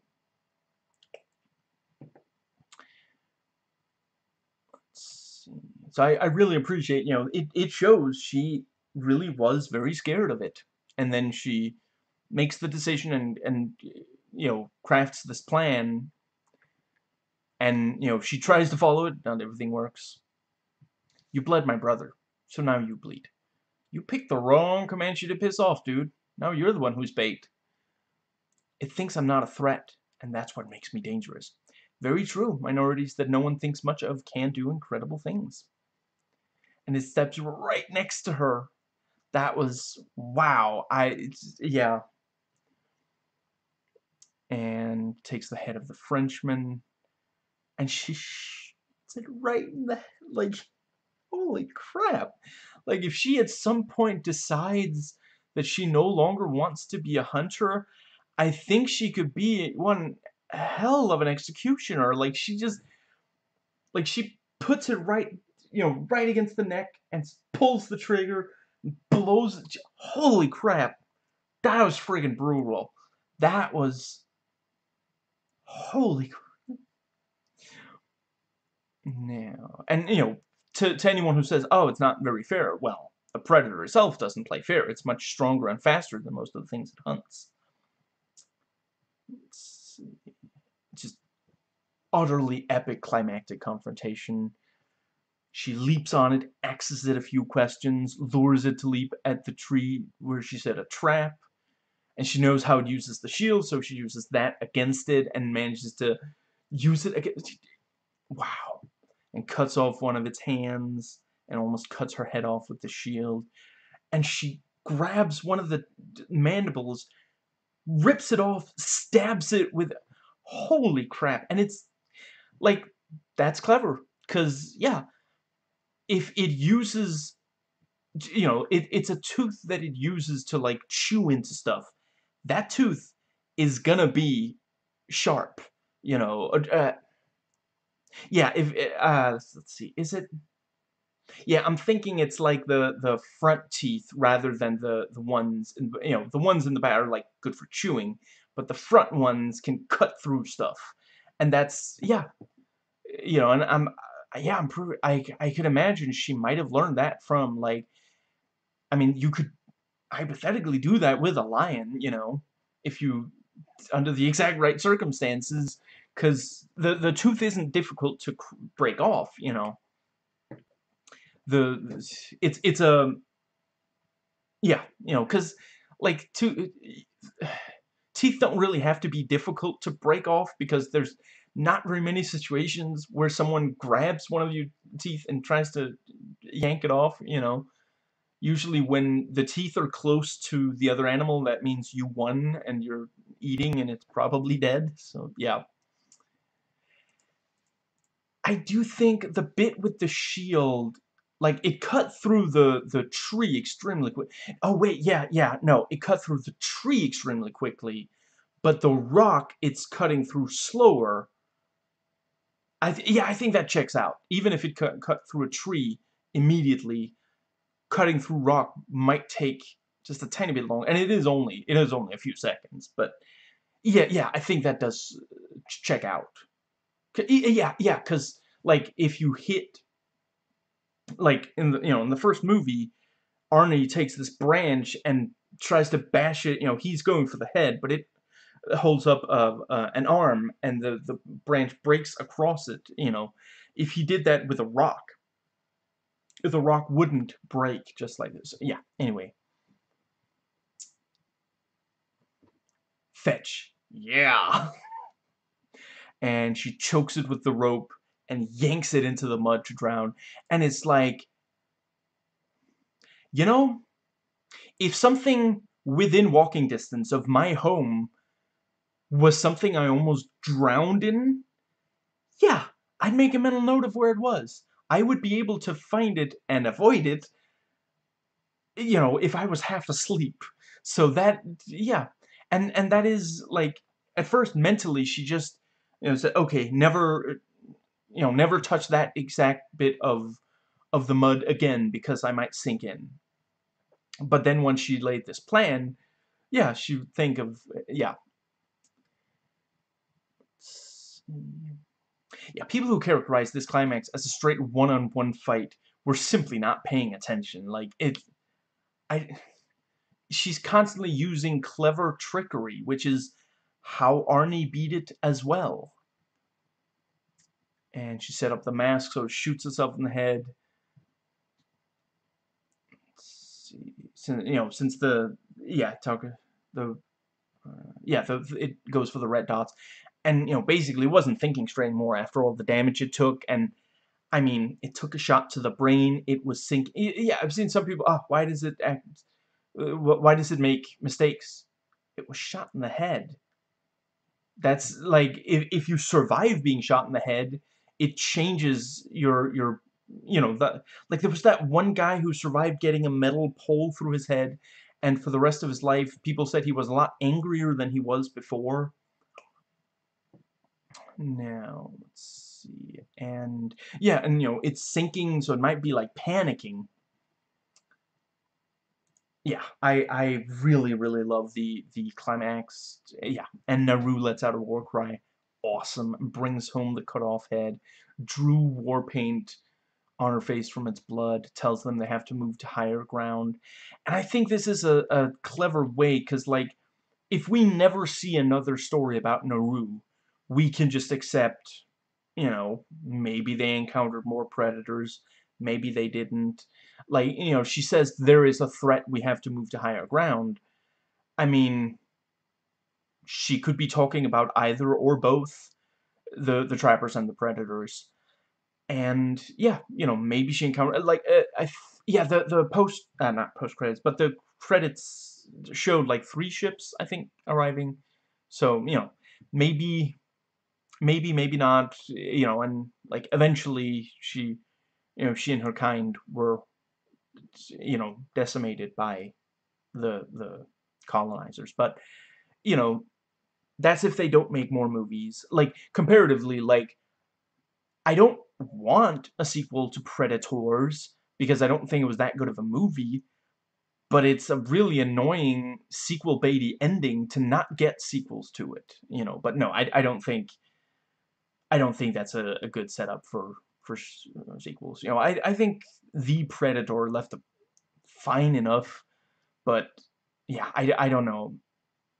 I, I think anyway, the the but yeah, they could they could use this as a soft reboot. You know, they could set a bunch of stories in yeah, you know, they could they could make a trilogy. They could make several more movies where Naru is one of the, you know, maybe next time it's uh you know the situation is slightly different. You know obviously I don't want it to just be the exact same thing but yeah. Maybe maybe there are more tribes next time. Maybe there are more colonizers. You know maybe it ends up with just a few Comanche actually yeah. Maybe maybe they do this thing of like Comanche working with other Indian, other native tribes, and like maybe it's like one warrior from each, and like a motley crew kind of, but they're all really good at what they do, kind of thing, and they team up to take the predator down, and it's like five on one fight kind of thing, you know, and then it could have more advanced weaponry, and it would still be a reasonable fight you know, I've seen people say, you know, you could just set it like you could have one in medieval ages, you could have one, you know, you could do the Assassin's Creed thing of having in every different time period, and yeah, you know, I, I think this is a really smart way to to do it. I think it would be way less, uh, you know, the the let's see I'm not sure you could do much to do a sequel to the first one without, like... I mean, I feel like the, the fourth movie is basically trying to be a sequel to both 1 and 2. Not really 3. The, the second movie, you know, how do you do a sequel? Like, I, I don't think anybody wants to work with Gary Busey anymore. Uh, Danny Glover, I don't think does he still do action movies anymore?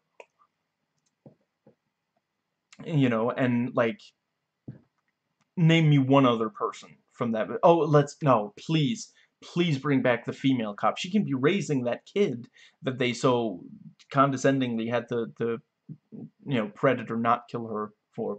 Anyway, the, the, yeah, so the, yeah, I already mentioned, yeah, so a sequel to, to Predators. Uh, let's see. Yeah, you know, that, that wouldn't have allowed them to do what they wanted with this.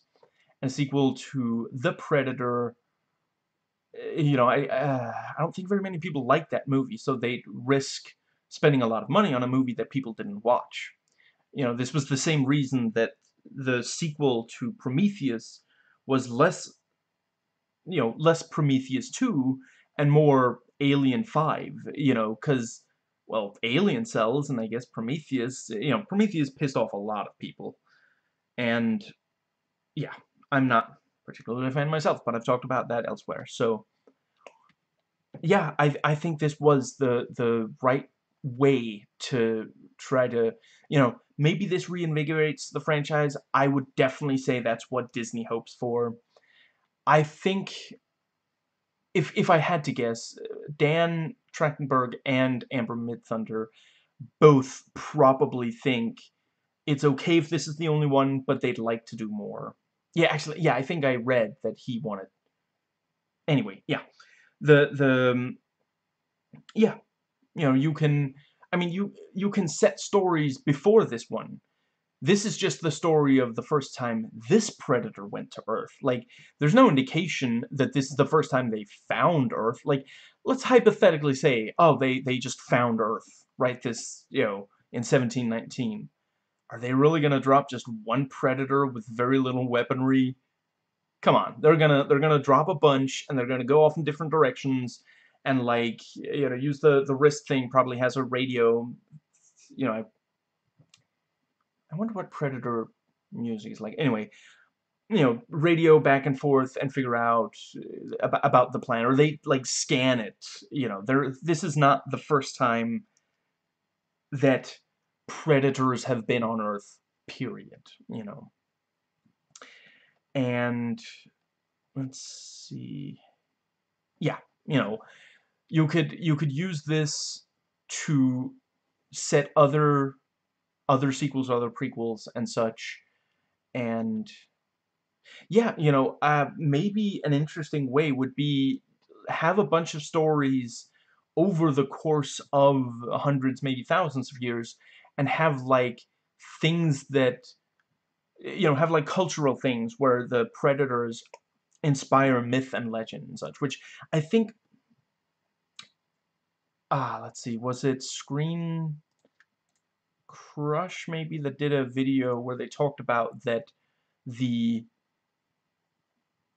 you know the the predator ship in this yeah Screen Crush is like the Firebird I think he said you know the yeah. So right anyway back to notes. Incredible ending. Like her brother said she sees everything. She's very perceptive and observant. She learned from mistakes, both her own and others. She made a plan, carried it out. Not everything worked perfectly. She wasn't trying to make fetch happen, but she corrected for it. This is easily the best, most satisfying climax of all the solo movies, and definitely better than the AVP films.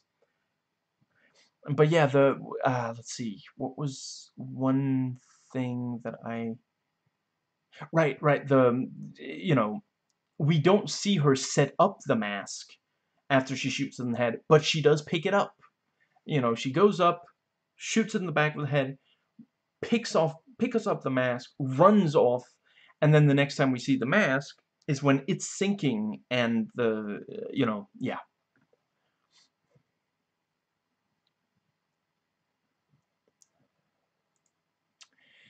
Now, maybe the reason the Predator doesn't have the tech we're used to is that it was developed in the 300 years between this and Predator 1.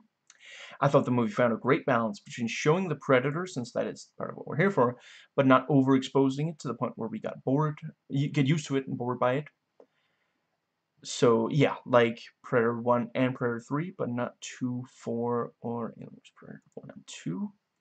As others pointed out, when Naru faced the predator, part of why it lost is because it fought a bear, trappers, and such that managed to hurt it, some of them badly, like the bear. So yeah, it's not perfect. There are some well-reasoned entries in the IMDb Goof section as I record this. All of them are. I just realized, I think I forgot to say how I, yeah.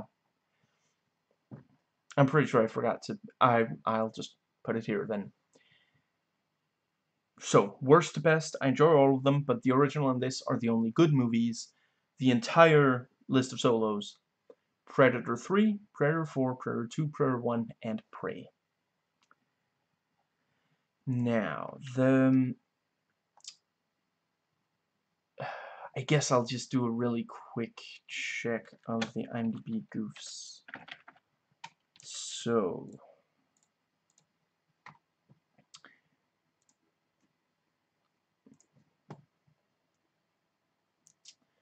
let's see. Yeah, so the um, uh, what's the yeah, yeah. Um, so let's see. There's three factual errors, one incorrectly regarded as goofs, and one revealing mistake. So the three factual errors, you know, the the thing is, you know, the medicine that lowers body temperature, you know, if your body temperature is low, you know, hypothermia, you know, you're shivering, you're slur, yeah, slurred speech, shallow breathing, weak pulse, clumsiness, lack of coordination, more obviously Naru isn't dealing with that. So, you know, yeah, that, I mean, the mud also isn't, I, I forget, was it because it didn't cover enough or wasn't thick enough? I, I forget, but they, you know, yeah, those were, and yeah, one of the Frenchmen hobbles back to camp on with his lower leg completely severed. He would have bled out and died long before making it there.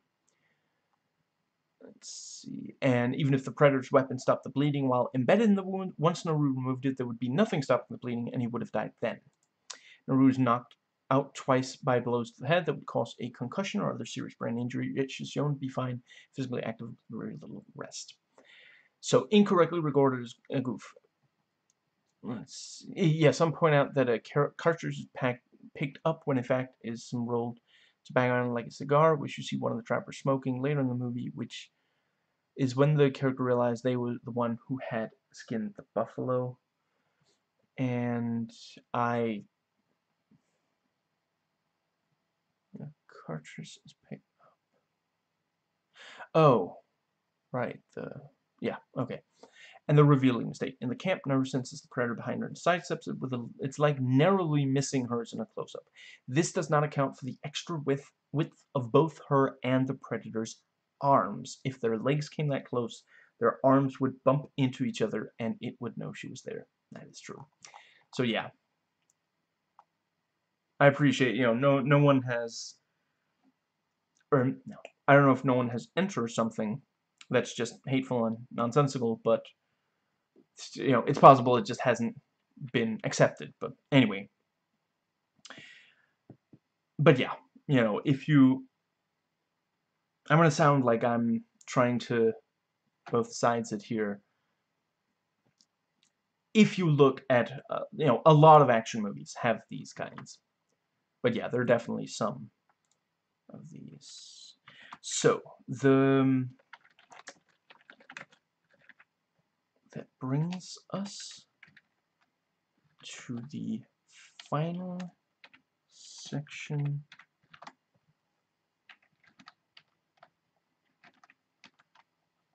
notes taken before watching.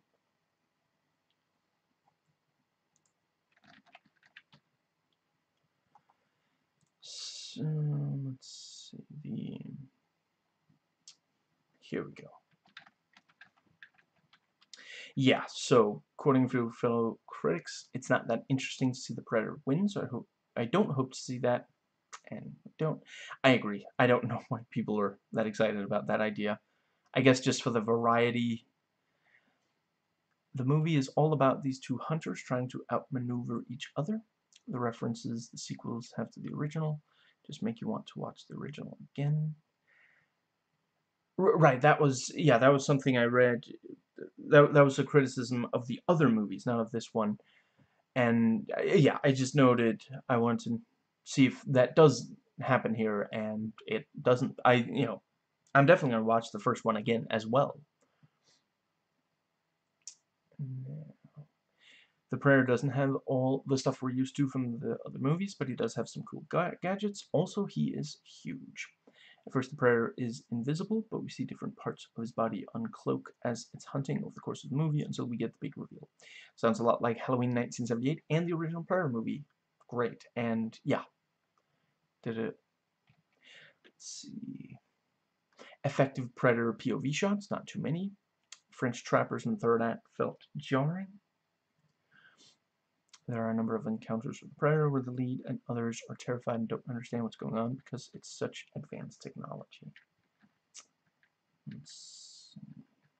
Okay, I have a bunch of notes. I think I'm gonna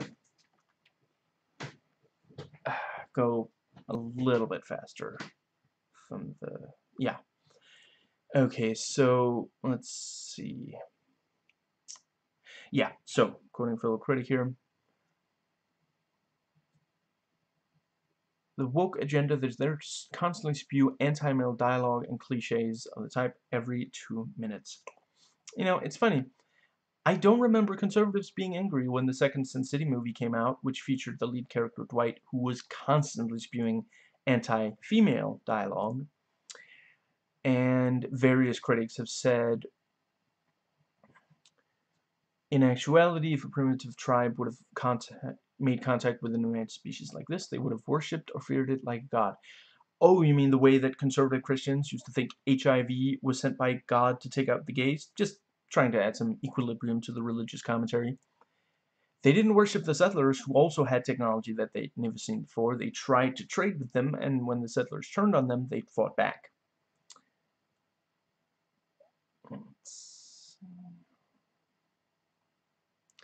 Having all this in mind throughout the movie, it will constantly take you out of the immersion like it did to me. Only if you let it, as I'm going to get into in a little bit, all of these movies have unrealistic elements. Once again, I enjoy them all. But I don't think they're flawless. The Predator also becomes a better hunter of the course of the movie, like Naru, who's the titular Prey. Naru, the Predator, you might be surprised, Naru avoids the predator for most of it and only at the end decides to hunt it and fight it. long before anyone had a chance to watch the movie, this was being written off as being bad based on extremely shallow things. As soon as we got the first trailer, which confirmed that this one is going to be about a Native American woman fighting a predator using the tools they had access to back then, a bunch of conservatives immediately balked at the idea, forgetting that one of the big takeaways from the original movie is that this squad of hyper-masculine men with military training cannot defeat the Predator with modern technology. Arnold had to use the kinds of weapons and traps that they would have in 1719. This is literally the most logical course to take. How many times does it need to be hyper-masculine men fighting to take out Predators? You had four solo movies like that, and both of the Alien vs. Predator movies also had characters like that. Same for the games. And depending on your country, you may have access to the first solo movies and both of the Alien vs. Predator movies on the same streaming service that you watch this on. So just watch any of the other ones. You got what you wanted four times over, and you're whining that we progressives get what we want once in this franchise? The vast majority of real-life armed conflicts were not decided by how many or how big muscles the fighters had. Cleverness and spirit play a big part. Just because we're used to seeing muscle-bound dudes in the lead of movies like this, and for them to win regardless of what they fight, doesn't mean that it's the only or best way to do this. You know what? I would have had a ton of respect if the first movie ended with Arnold losing. If even Arnold Schwarzenegger couldn't take it out. But at the end, it's, I mean, the movie ends like an Arnold Schwarzenegger movie. He he beats the enemy despite despite the odds, you know. Also, it hasn't been about muscle-bound, a uh, muscle-bound huge dude stopping the Predator since the original movie. I love Arnie, but the idea that he'd be better for this situation, rather than just that he's what we're used to seeing, is ridiculous. Real-life Native American hunters could kill bears with their weapons. The other movies are about people who are used to killing humans with guns. I especially find it hilarious when conservatives criticize the movie, well, the trailer, saying that it doesn't look realistic, as if that was ever a goal of this franchise. You know the first film ends with Arnie outrunning a nuke, right? And to the people who say that it doesn't make sense that the Predator would fight someone so small compared to itself, pointing out how much bigger than Amber Arnold Schwarzenegger was in the first movie. When was the last time you actually watched the movie? The only thing he uses his muscles for that actually helps against the Predator is setting up traps. He does try to hit him once with a large stick, but the Predator blocks it, and that's the last time and the only time he ever tries to defeat it with his own muscles, other than the one that matters.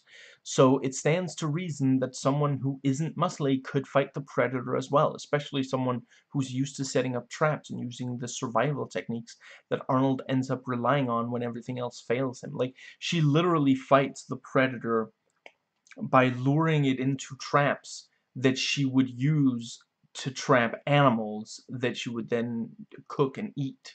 You know, this is like it's it's she's basically applying her skill set to a new situation. Where Arnold, I mean, yeah, he knows about this stuff, but he hasn't he hasn't used these old China, you know, actually I saw the the abridged script he he called the the author of that called them Ewok traps, which yeah, I saw one conservative sneering at the idea that the soldiers in the trailer might turn out to be the real villains, not the Predator, which didn't turn out to be the case. It's just, you know, conservatives online, they just love spreading hate based on things they don't actually know that much about. Like, literally the opposite happens. Like, the Predator hunts the trappers just like it hunts uh, the, the Comanche. And in fact, she uses one of the French trappers to lure in the predator. Anyway, yeah, that guy must not have a problem with colonization, which is responsible for an extreme amount of death and pain throughout human history. If predators were real, they would not be as harmful as colonizers. And before you say that the Predator movies used to be apolitical, the first movie says that politicians abandon American troops, something that was thought to be the case in Vietnam, at the time a very open wound. If you're someone who still believes that is the case, watch Renegade Cut's video on Rambo. The second movie is about how bad crime is in the inner cities, and the cops are willing and able to solve it, but the higher-ups just won't let them. The third movie is saying that the American-Israeli military can be just as cutthroat as people who kill people for the drug cartels. The fourth movie is about how the American military abandons those of its troops that it traumatized through their military service. So this isn't even the first in the series to be critical of the military of the West. The first Alien vs. Predator movie is about that in 2004 there are still white people who think that the pyramids couldn't have been built by people they consider to be lesser. And the second one is about how a small southern town in America definitely has enough guns to fight off outer space creatures. Maybe because these are conservative. Conservatives don't call them political, just consider them to be normal. The original movie is an attempt at coming to terms with the outcome of the Vietnam War. It appears that this movie is an attempt at coming to terms with the monstrous things colonizers did to indigenous people. In the original movie, the Predator was a stand-in for Viet Cong, now colonizers. Arguably. Since it does also have colonizers. Some of the conservatives also say that this and other movies like it uh, let's see, should not do the story of a minority individual trying to prove themselves. They point to the line from the trailer, why do you want to hunt? Because you will think that I can't. Which, you know, I saw a trailer reaction where he pointed out that's a badass line. I absolutely agree with that. I wonder how many of these conservatives would be freaking out if a guy, if it was a guy saying it. Why is if it bleeds we can kill it okay, but because you all think that I can't, not? It's an underdog story. Americans love those. It's about a lead who is amazing at physically demanding stuff that isn't dancing. Americans love those. You know, the, the reason that it has to be, it, it can't be about dancing is that a lot of dudes, straight dudes, do not think, you know, that they're like, okay, yeah, but if you if you can like fight, you can hurt people. You can't hurt people by dancing. And then Spider-Man 3 came out, and they were proven very wrong. You know, yeah. And the other Predator movies were also underdog stories about, you know, a lead who's excellent at physically demanding stuff. People are acting like they turned into an artsy-fartsy black and white low-key drama or something. And the funny thing is, some of these conservatives like movies where men have to prove themselves. So really the common denominator is they don't like seeing minority individuals trying to prove themselves. It's not that they don't like stories where the lead has to prove themselves. The critical drinker dislikes the trailer, pointing to that as a problem, but he gave a positive review to The Tomorrow War, and the aspect that the Chris Pratt character has to prove himself. In fact, a lot of critics hated it, and he seemed to like it in part just because, you know, oh, you know, finally there's a father who, you know, th this is a movie that doesn't say that all fathers are bad fathers, and it's like, I think you just, maybe you just need to talk to someone about these things. I don't, I don't think it is, I, I don't think the problem is that movies are as bad as he thinks he uh, they are. I think he just needs to talk to someone who can help him deal with these feelings. I'm not saying that to, you know, make fun of him. Now, the, let's see, what was the other, ah, crap. There was something else. What was the other thing? Right, uh, you know, for sure there are some movies today that are really, really bad, but, yeah.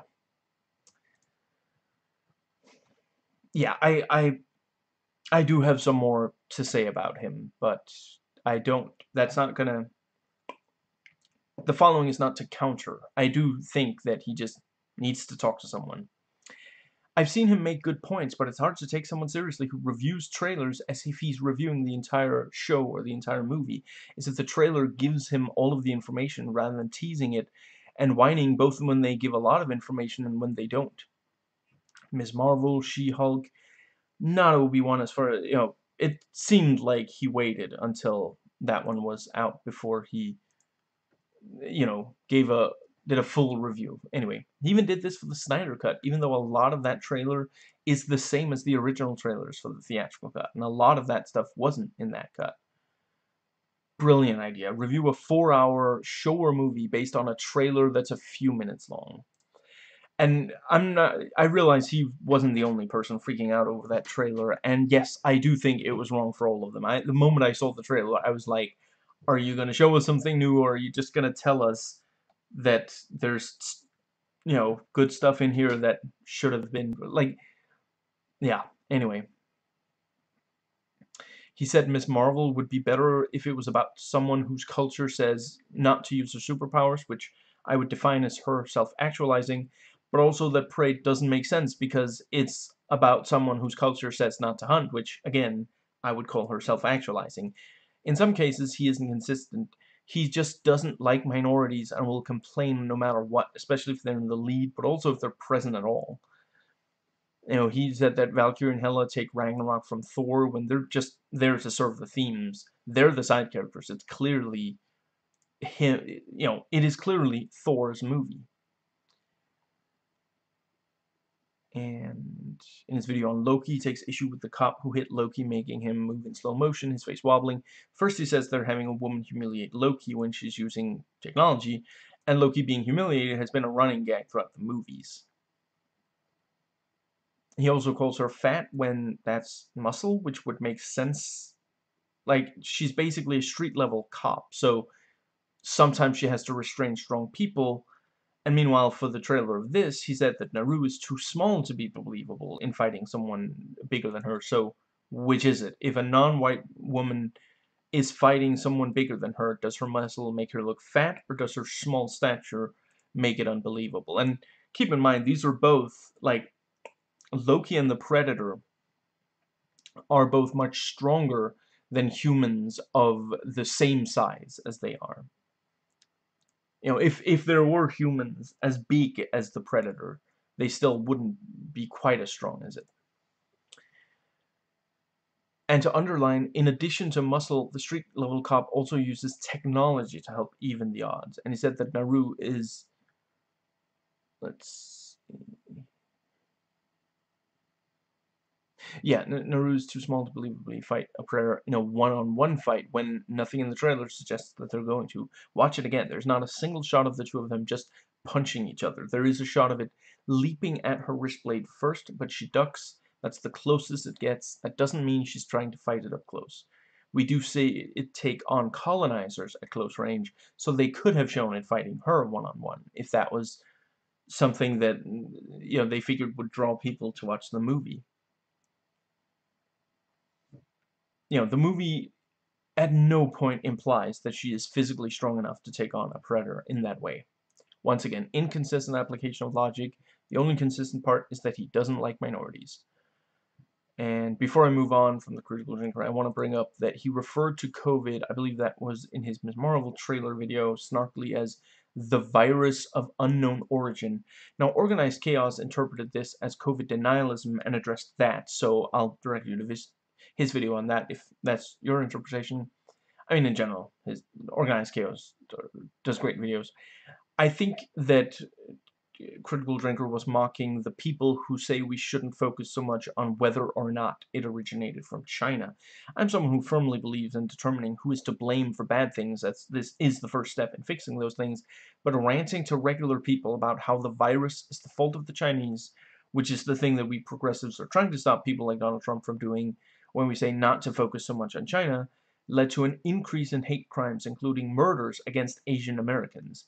If this wasn't what he meant, he should be more careful to word things so it couldn't be interpreted that way.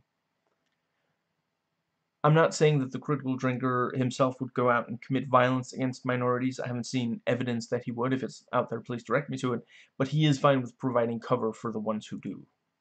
For the criticisms of the critical drinker, I recommend the already mentioned Organized Chaos, Turf Nation, Phantom Felix's video, The Critical Drunkard's Lousy Review, in quotes, of Loki, Damien Walters' video, The, pro, uh, the Problem with Reactionary Reviewers Like The Critical Drinker, and Karina McDaniel's video, Critical Drinker Should Lay Off the Alcohol. Right, and uh, actually, uh, I forgot to put that in here, but there's also the video called The Critical Drinker is Not a Critical Thinker. I'll just add that real quick.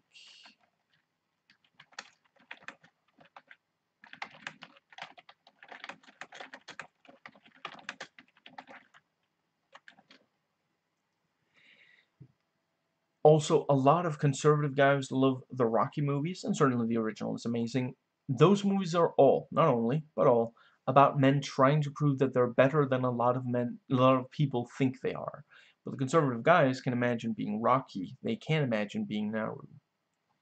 The first movie explicitly states that Rocky will not be able to engage in any more professional boxing after that yeah, match, and yet he goes on to in some of the sequels, not going to spoil here which. So why is it okay for a past his prime guy to continue fighting professionally, but a woman with less muscles at the prime of her life can't do what she does here? Let's see. Yeah, so some people said the Predator shouldn't be hunting Amber. It only hunts the best of the best, which is true of the first and third, but not really the second and fourth. Or that she can't stop it. Eh, you know, the, eh, yeah, the movie has her gradually improving her skills over the course of the movie. And, you know, there's also some trial by fire. You can do things in extreme situations you didn't think you could which is arguably what happens with Arnold at the end. And I do think that that's a more interesting story than, you know, as I've said, yet again taking characters who are already extremely capable and just pitting them against the Predator. I think it worked well in the first movie when we didn't know what the Predator was. I don't think you can do that more than once and keep it interesting, or at least they haven't been able to in the movie so far. And, you know, in the trailer she says, it knows how to hunt, I know how to survive, so she's not facing it head on, applied directly to the forehead, the way that the other leads of the franchise do. She hides from it, lures it into a false sense of security. You know, before the movie was referred to as Predator 5, it was only referred to as Prey. It thinks she's just prey. And she proves it wrong. And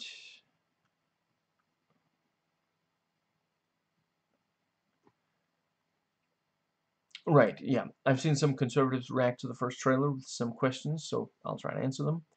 Why did she go after the bear alone? Because no one would hunt with her, which was shown early in the trailer. Why is the trailer showing her fail to uh, failing early on? It's setting up the conflict. Action movie trailers tend to do that. The trailer's deliberately showing very little of the predators because the more we see him, the less interesting he is to look at. We get used to him. The idea with this trailer is that we see she's not yet as skilled as she wants to be and you know the movie isn't part about getting her getting there.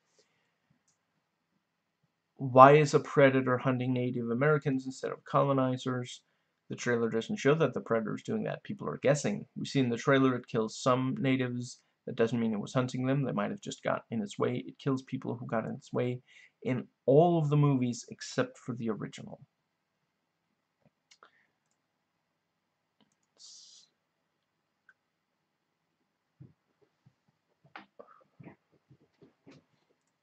Now, I've seen some people say that we should expect little of the movie because it's only the director's second movie.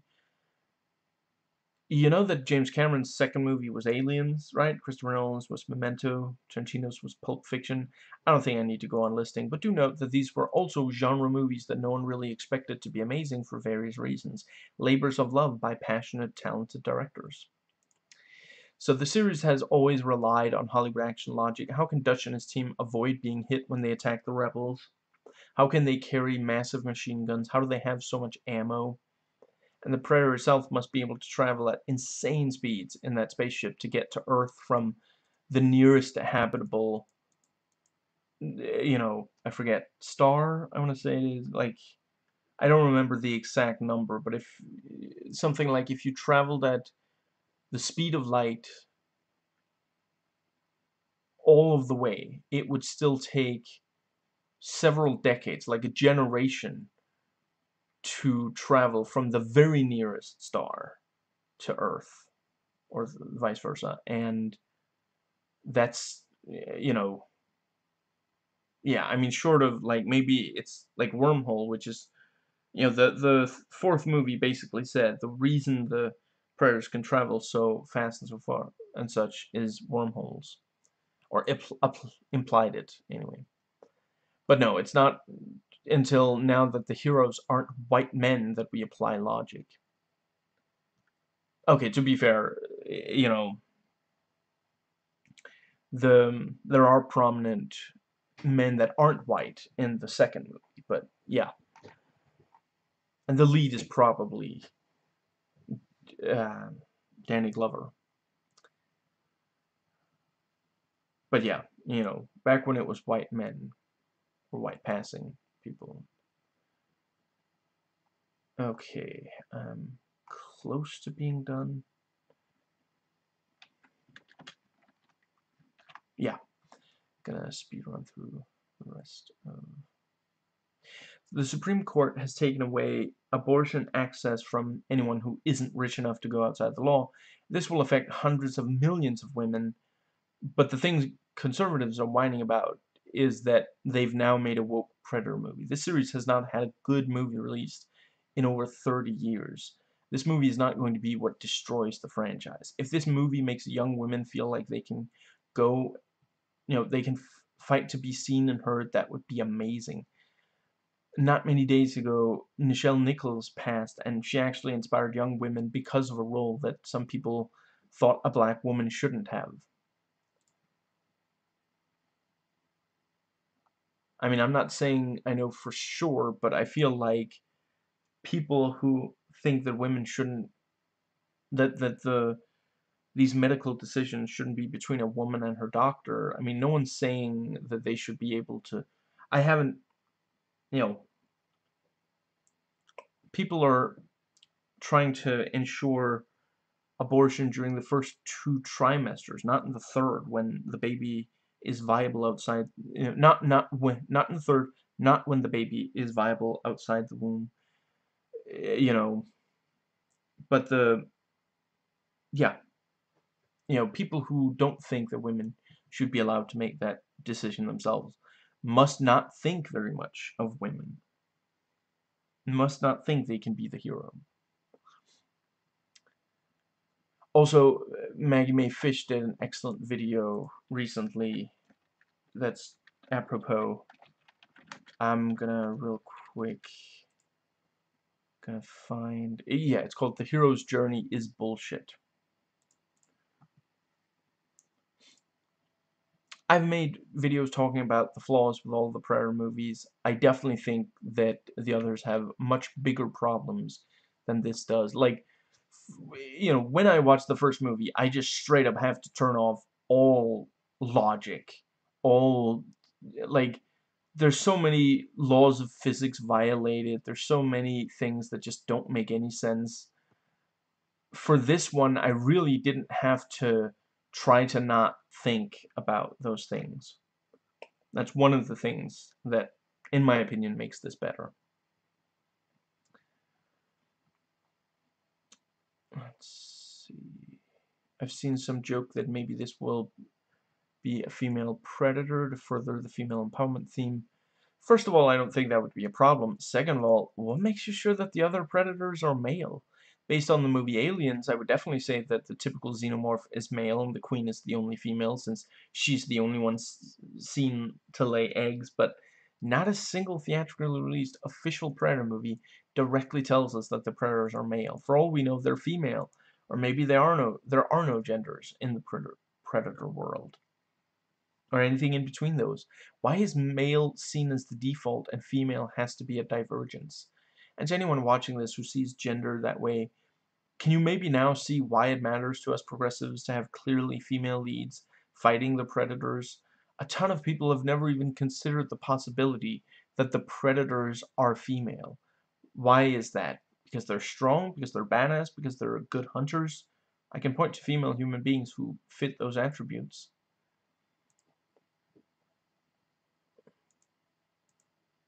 Yeah, and, and one critic said, the predator for some reason thinks that a woman wouldn't be capable of killing her. Okay, so I guess there are some conservatives who think that that's what's wrong, not that the predator would be, you know, that, that she wouldn't be capable of killing her. Anyway, also, the movie doesn't say that for sure that it's her gender. It could easily be her size, the fact that she's alone, not armed, not in a fighting stance, like every single again, just turn off the movie you made in yourself inside your head and watch this movie. Point to me where should it have perceived her as a threat? Where is she clearly armed and not using like the medicine to lower her body temperature? I agree that that doesn't make sense, but the mud never made sense either. And I remember like not 87 because I was one year old at the time, but I remember from the 90s people were talking about that the mud thing doesn't make sense. I don't, you know, people have always known that the mud didn't make sense. I agree that this isn't good either, but they felt they had to do something. Let's see. Yeah, some say it's not a good origin story. The director doesn't consider it an origin story. That's a marketing thing. I realize not everyone realizes this, though.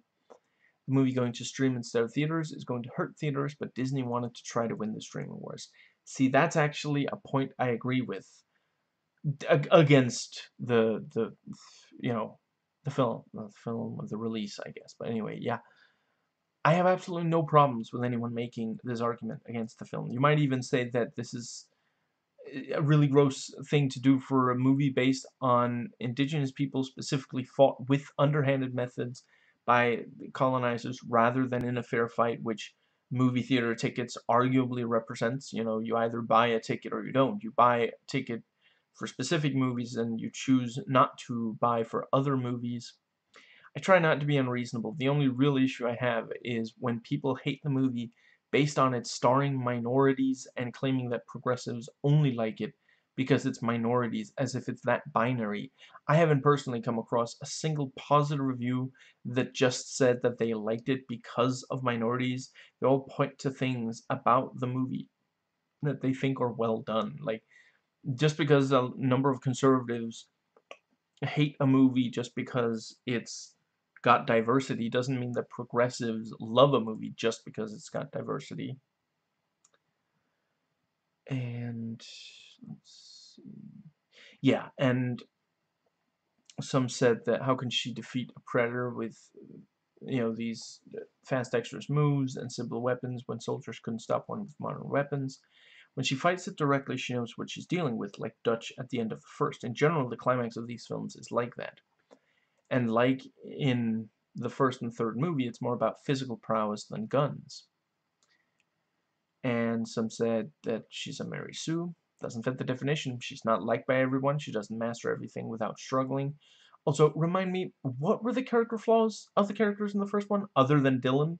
And don't you think that it is a character flaw for her that she spends so much of the movie trying to avoid the predator because she's scared of it, scared that she can't stop it, though she knows it's dangerous? She overcomes that and fights it at the end, she, and is able to defeat it though at the start of the movie she had trouble hurting much less dangerous prey.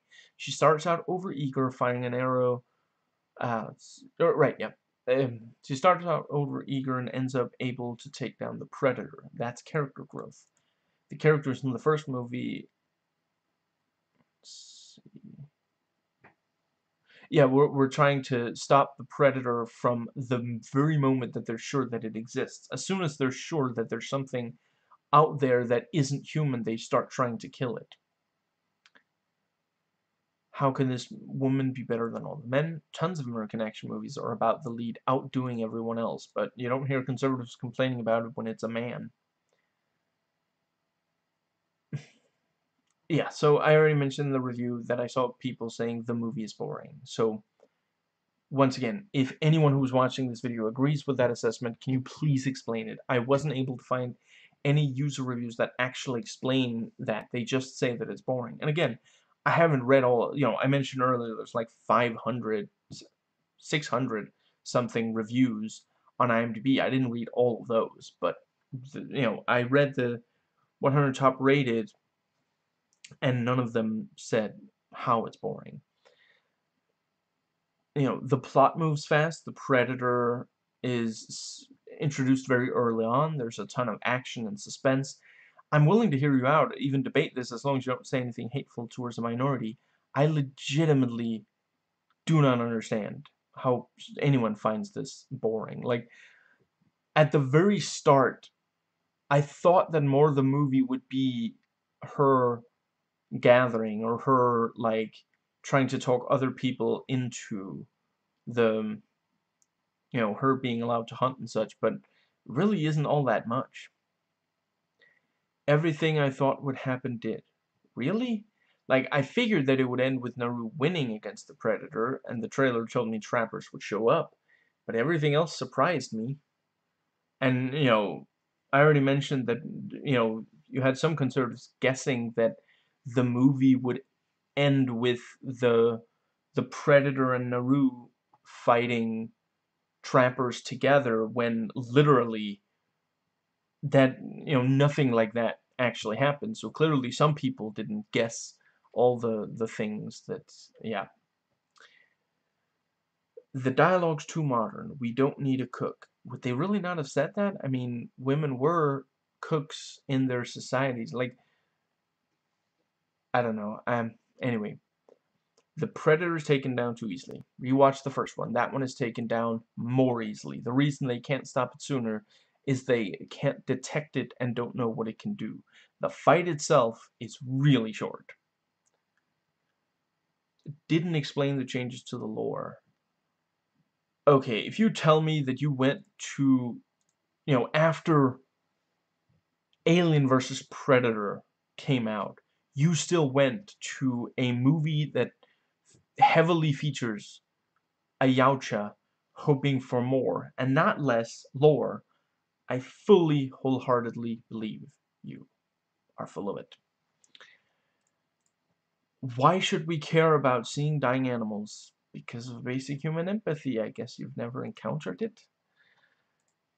I don't think it makes a movie more interesting for there to be more than one predator. I love it in video games. I'm not sure any of the comics I read were made better by multiple predators, but it definitely doesn't make a movie more tense than it, you know, it's already nearly impossible to kill a predator. For there to be multiple of them just gets ridiculous.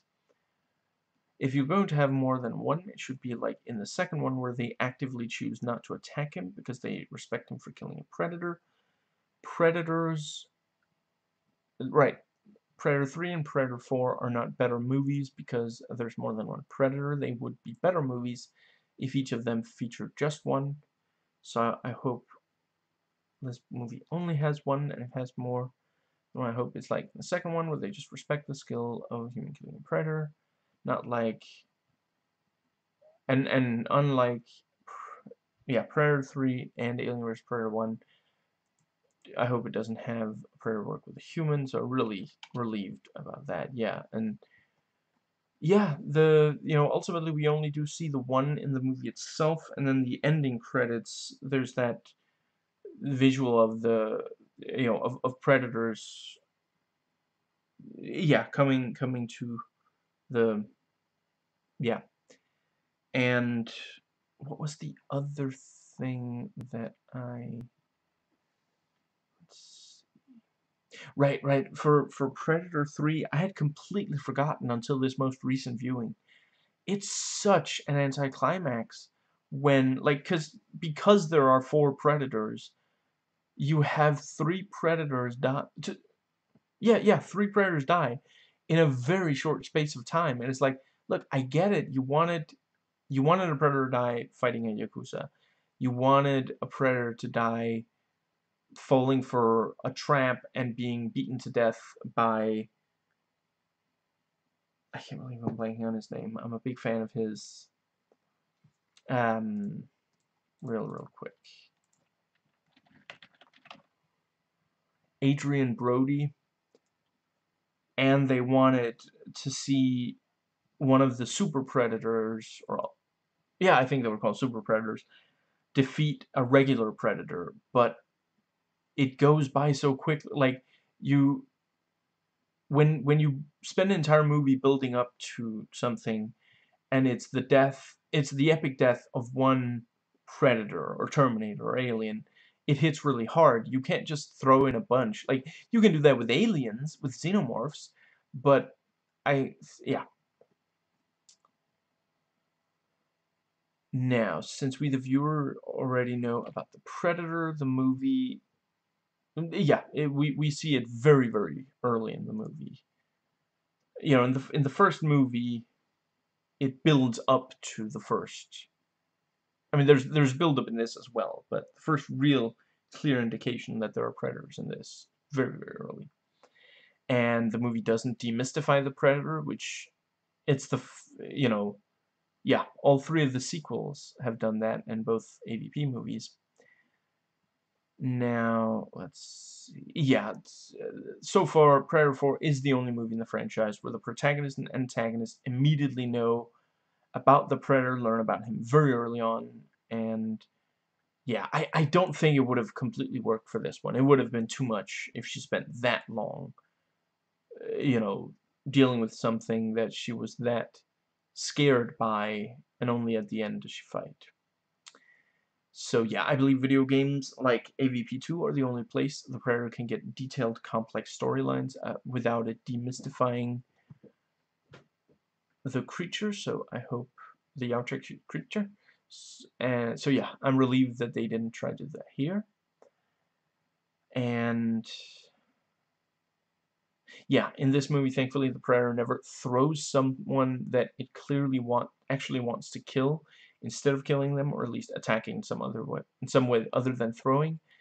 You know, it doesn't happen in the first, but it does happen in. Uh, Uh, yeah, it happens in the other sequels and the first A AVP movie, but not the second. And yeah, you know, the only I already mentioned that I feel like the the ending of this movie can work whether they make a sequel or not.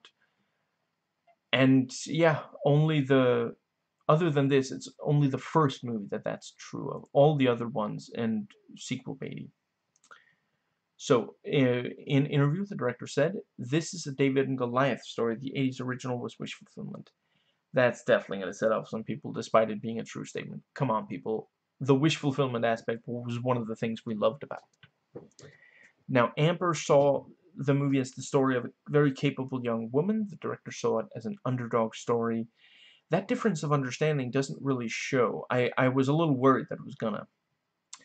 So chunks of Predator 3 and 4 feels like they're basically someone who loves the original movie, geeking out about all the aspects of the Predators. They love seeing the movies, with human characters basically e there to either state or prove these aspects about the Predators. And I'm relieved to say this movie does not do that.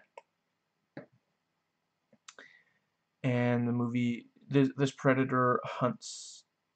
Yeah, I mean it doesn't only hunt based on honor, because sometimes it does just kill people. It, it doesn't kill anyone that aren't themselves capable of killing, basically. But yeah, you know, the...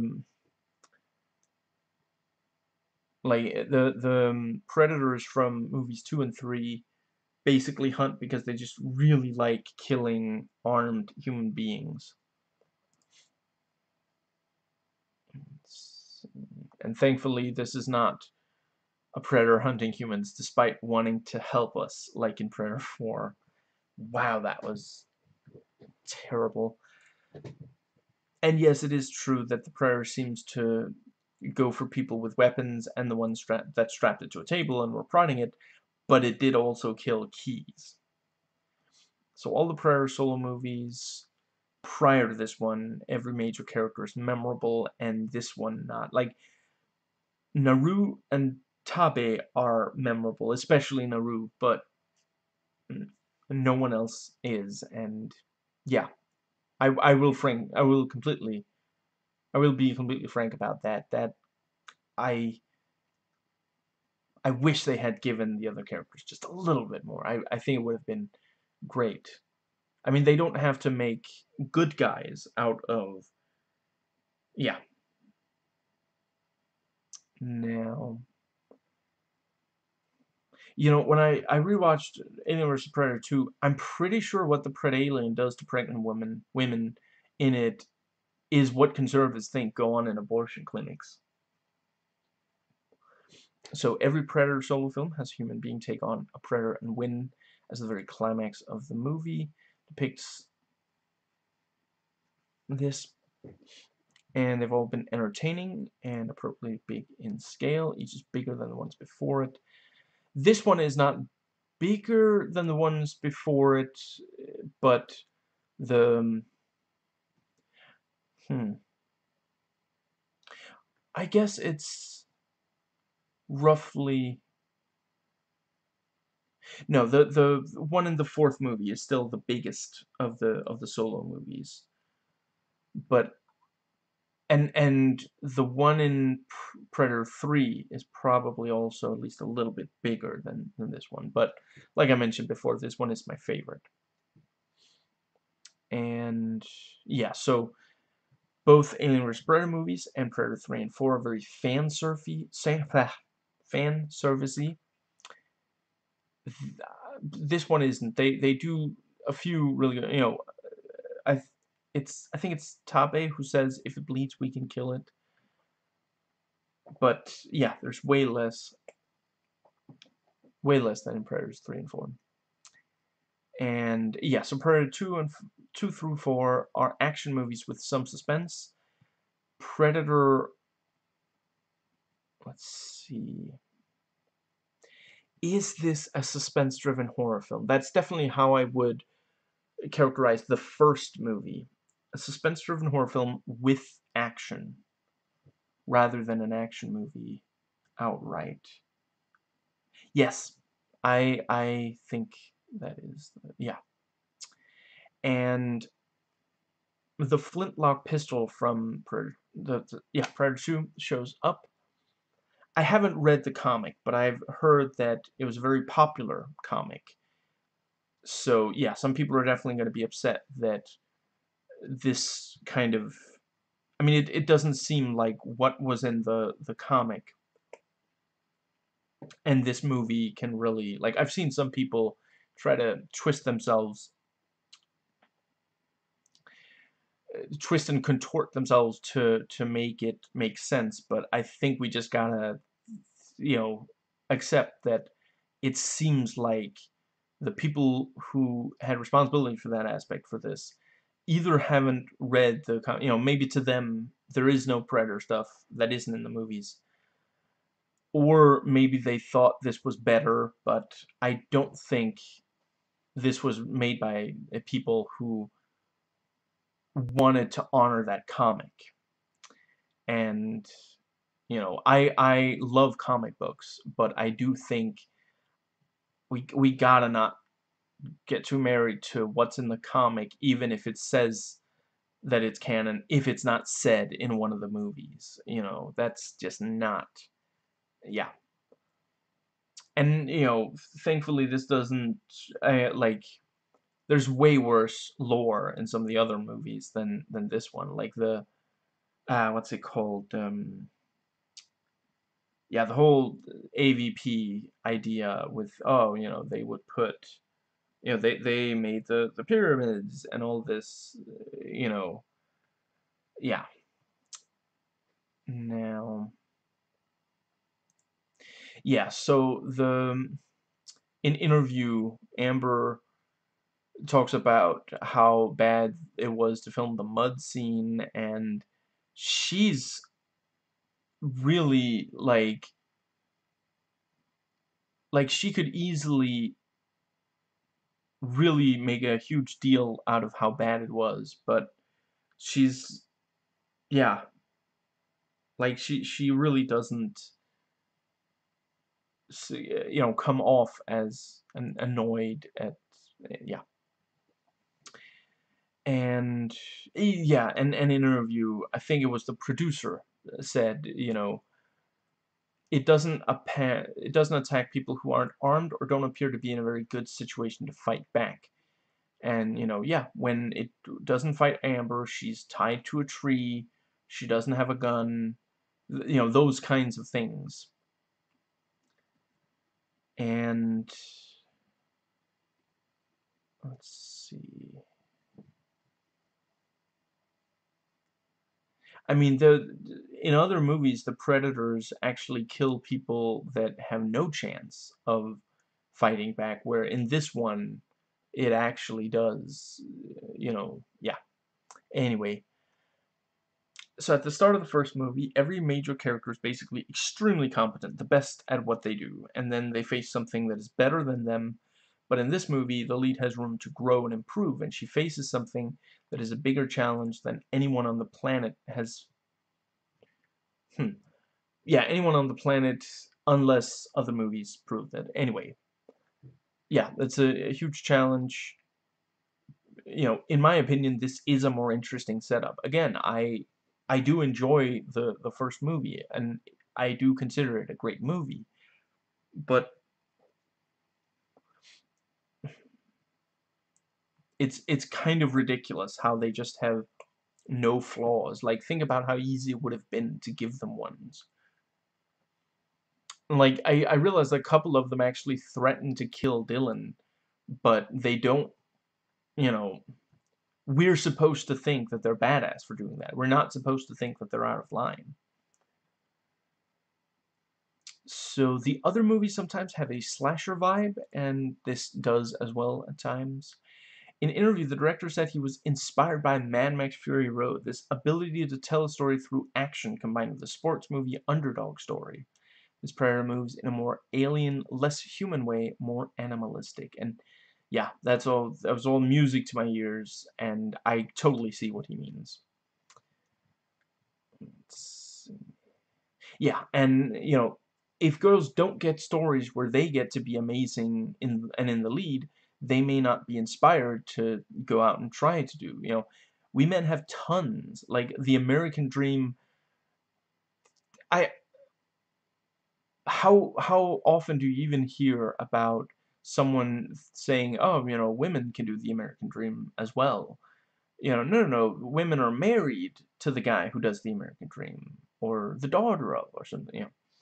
Why shouldn't women get ones, especially now that they are literally losing rights, that just, like, it's clear that there are a lot of people who have power who have no empathy for minorities. Now, that is that is it for all of my notes. So, please go to the comment section. Let me know how would you rank the five Predator movies. Are you hoping for more sequels or prequels or spin-offs? Who, you know, do, do you think someone should return from one of the other movies, like Dutch? Or Danny Glover's character. Harrigan, I want to say. Yeah. I remembered by thinking back to because because people shout his name all throughout. You know, yeah. Well, all throughout, but in several scenes, his his name is shouted. Uh, frustration. And what did you think of this movie? If you like this video, please thumbs up, subscribe, hit that little bell like you think it's secretly a predator. There should be a link to my main channel page, one, two, or more links to stuff like relevant playlists, a suggested video for you to watch on screen right about now. I put out one vlog per week reviewing and sharing spoiler thoughts on a movie, and recently these videos tend to come out very similar to this one. So, in, in other words, if you want my videos like this, you're in luck. You can check out my back catalog as well as catch my video next week. I hope you enjoyed watching as I enjoyed watching and recording, and I'll catch you next time.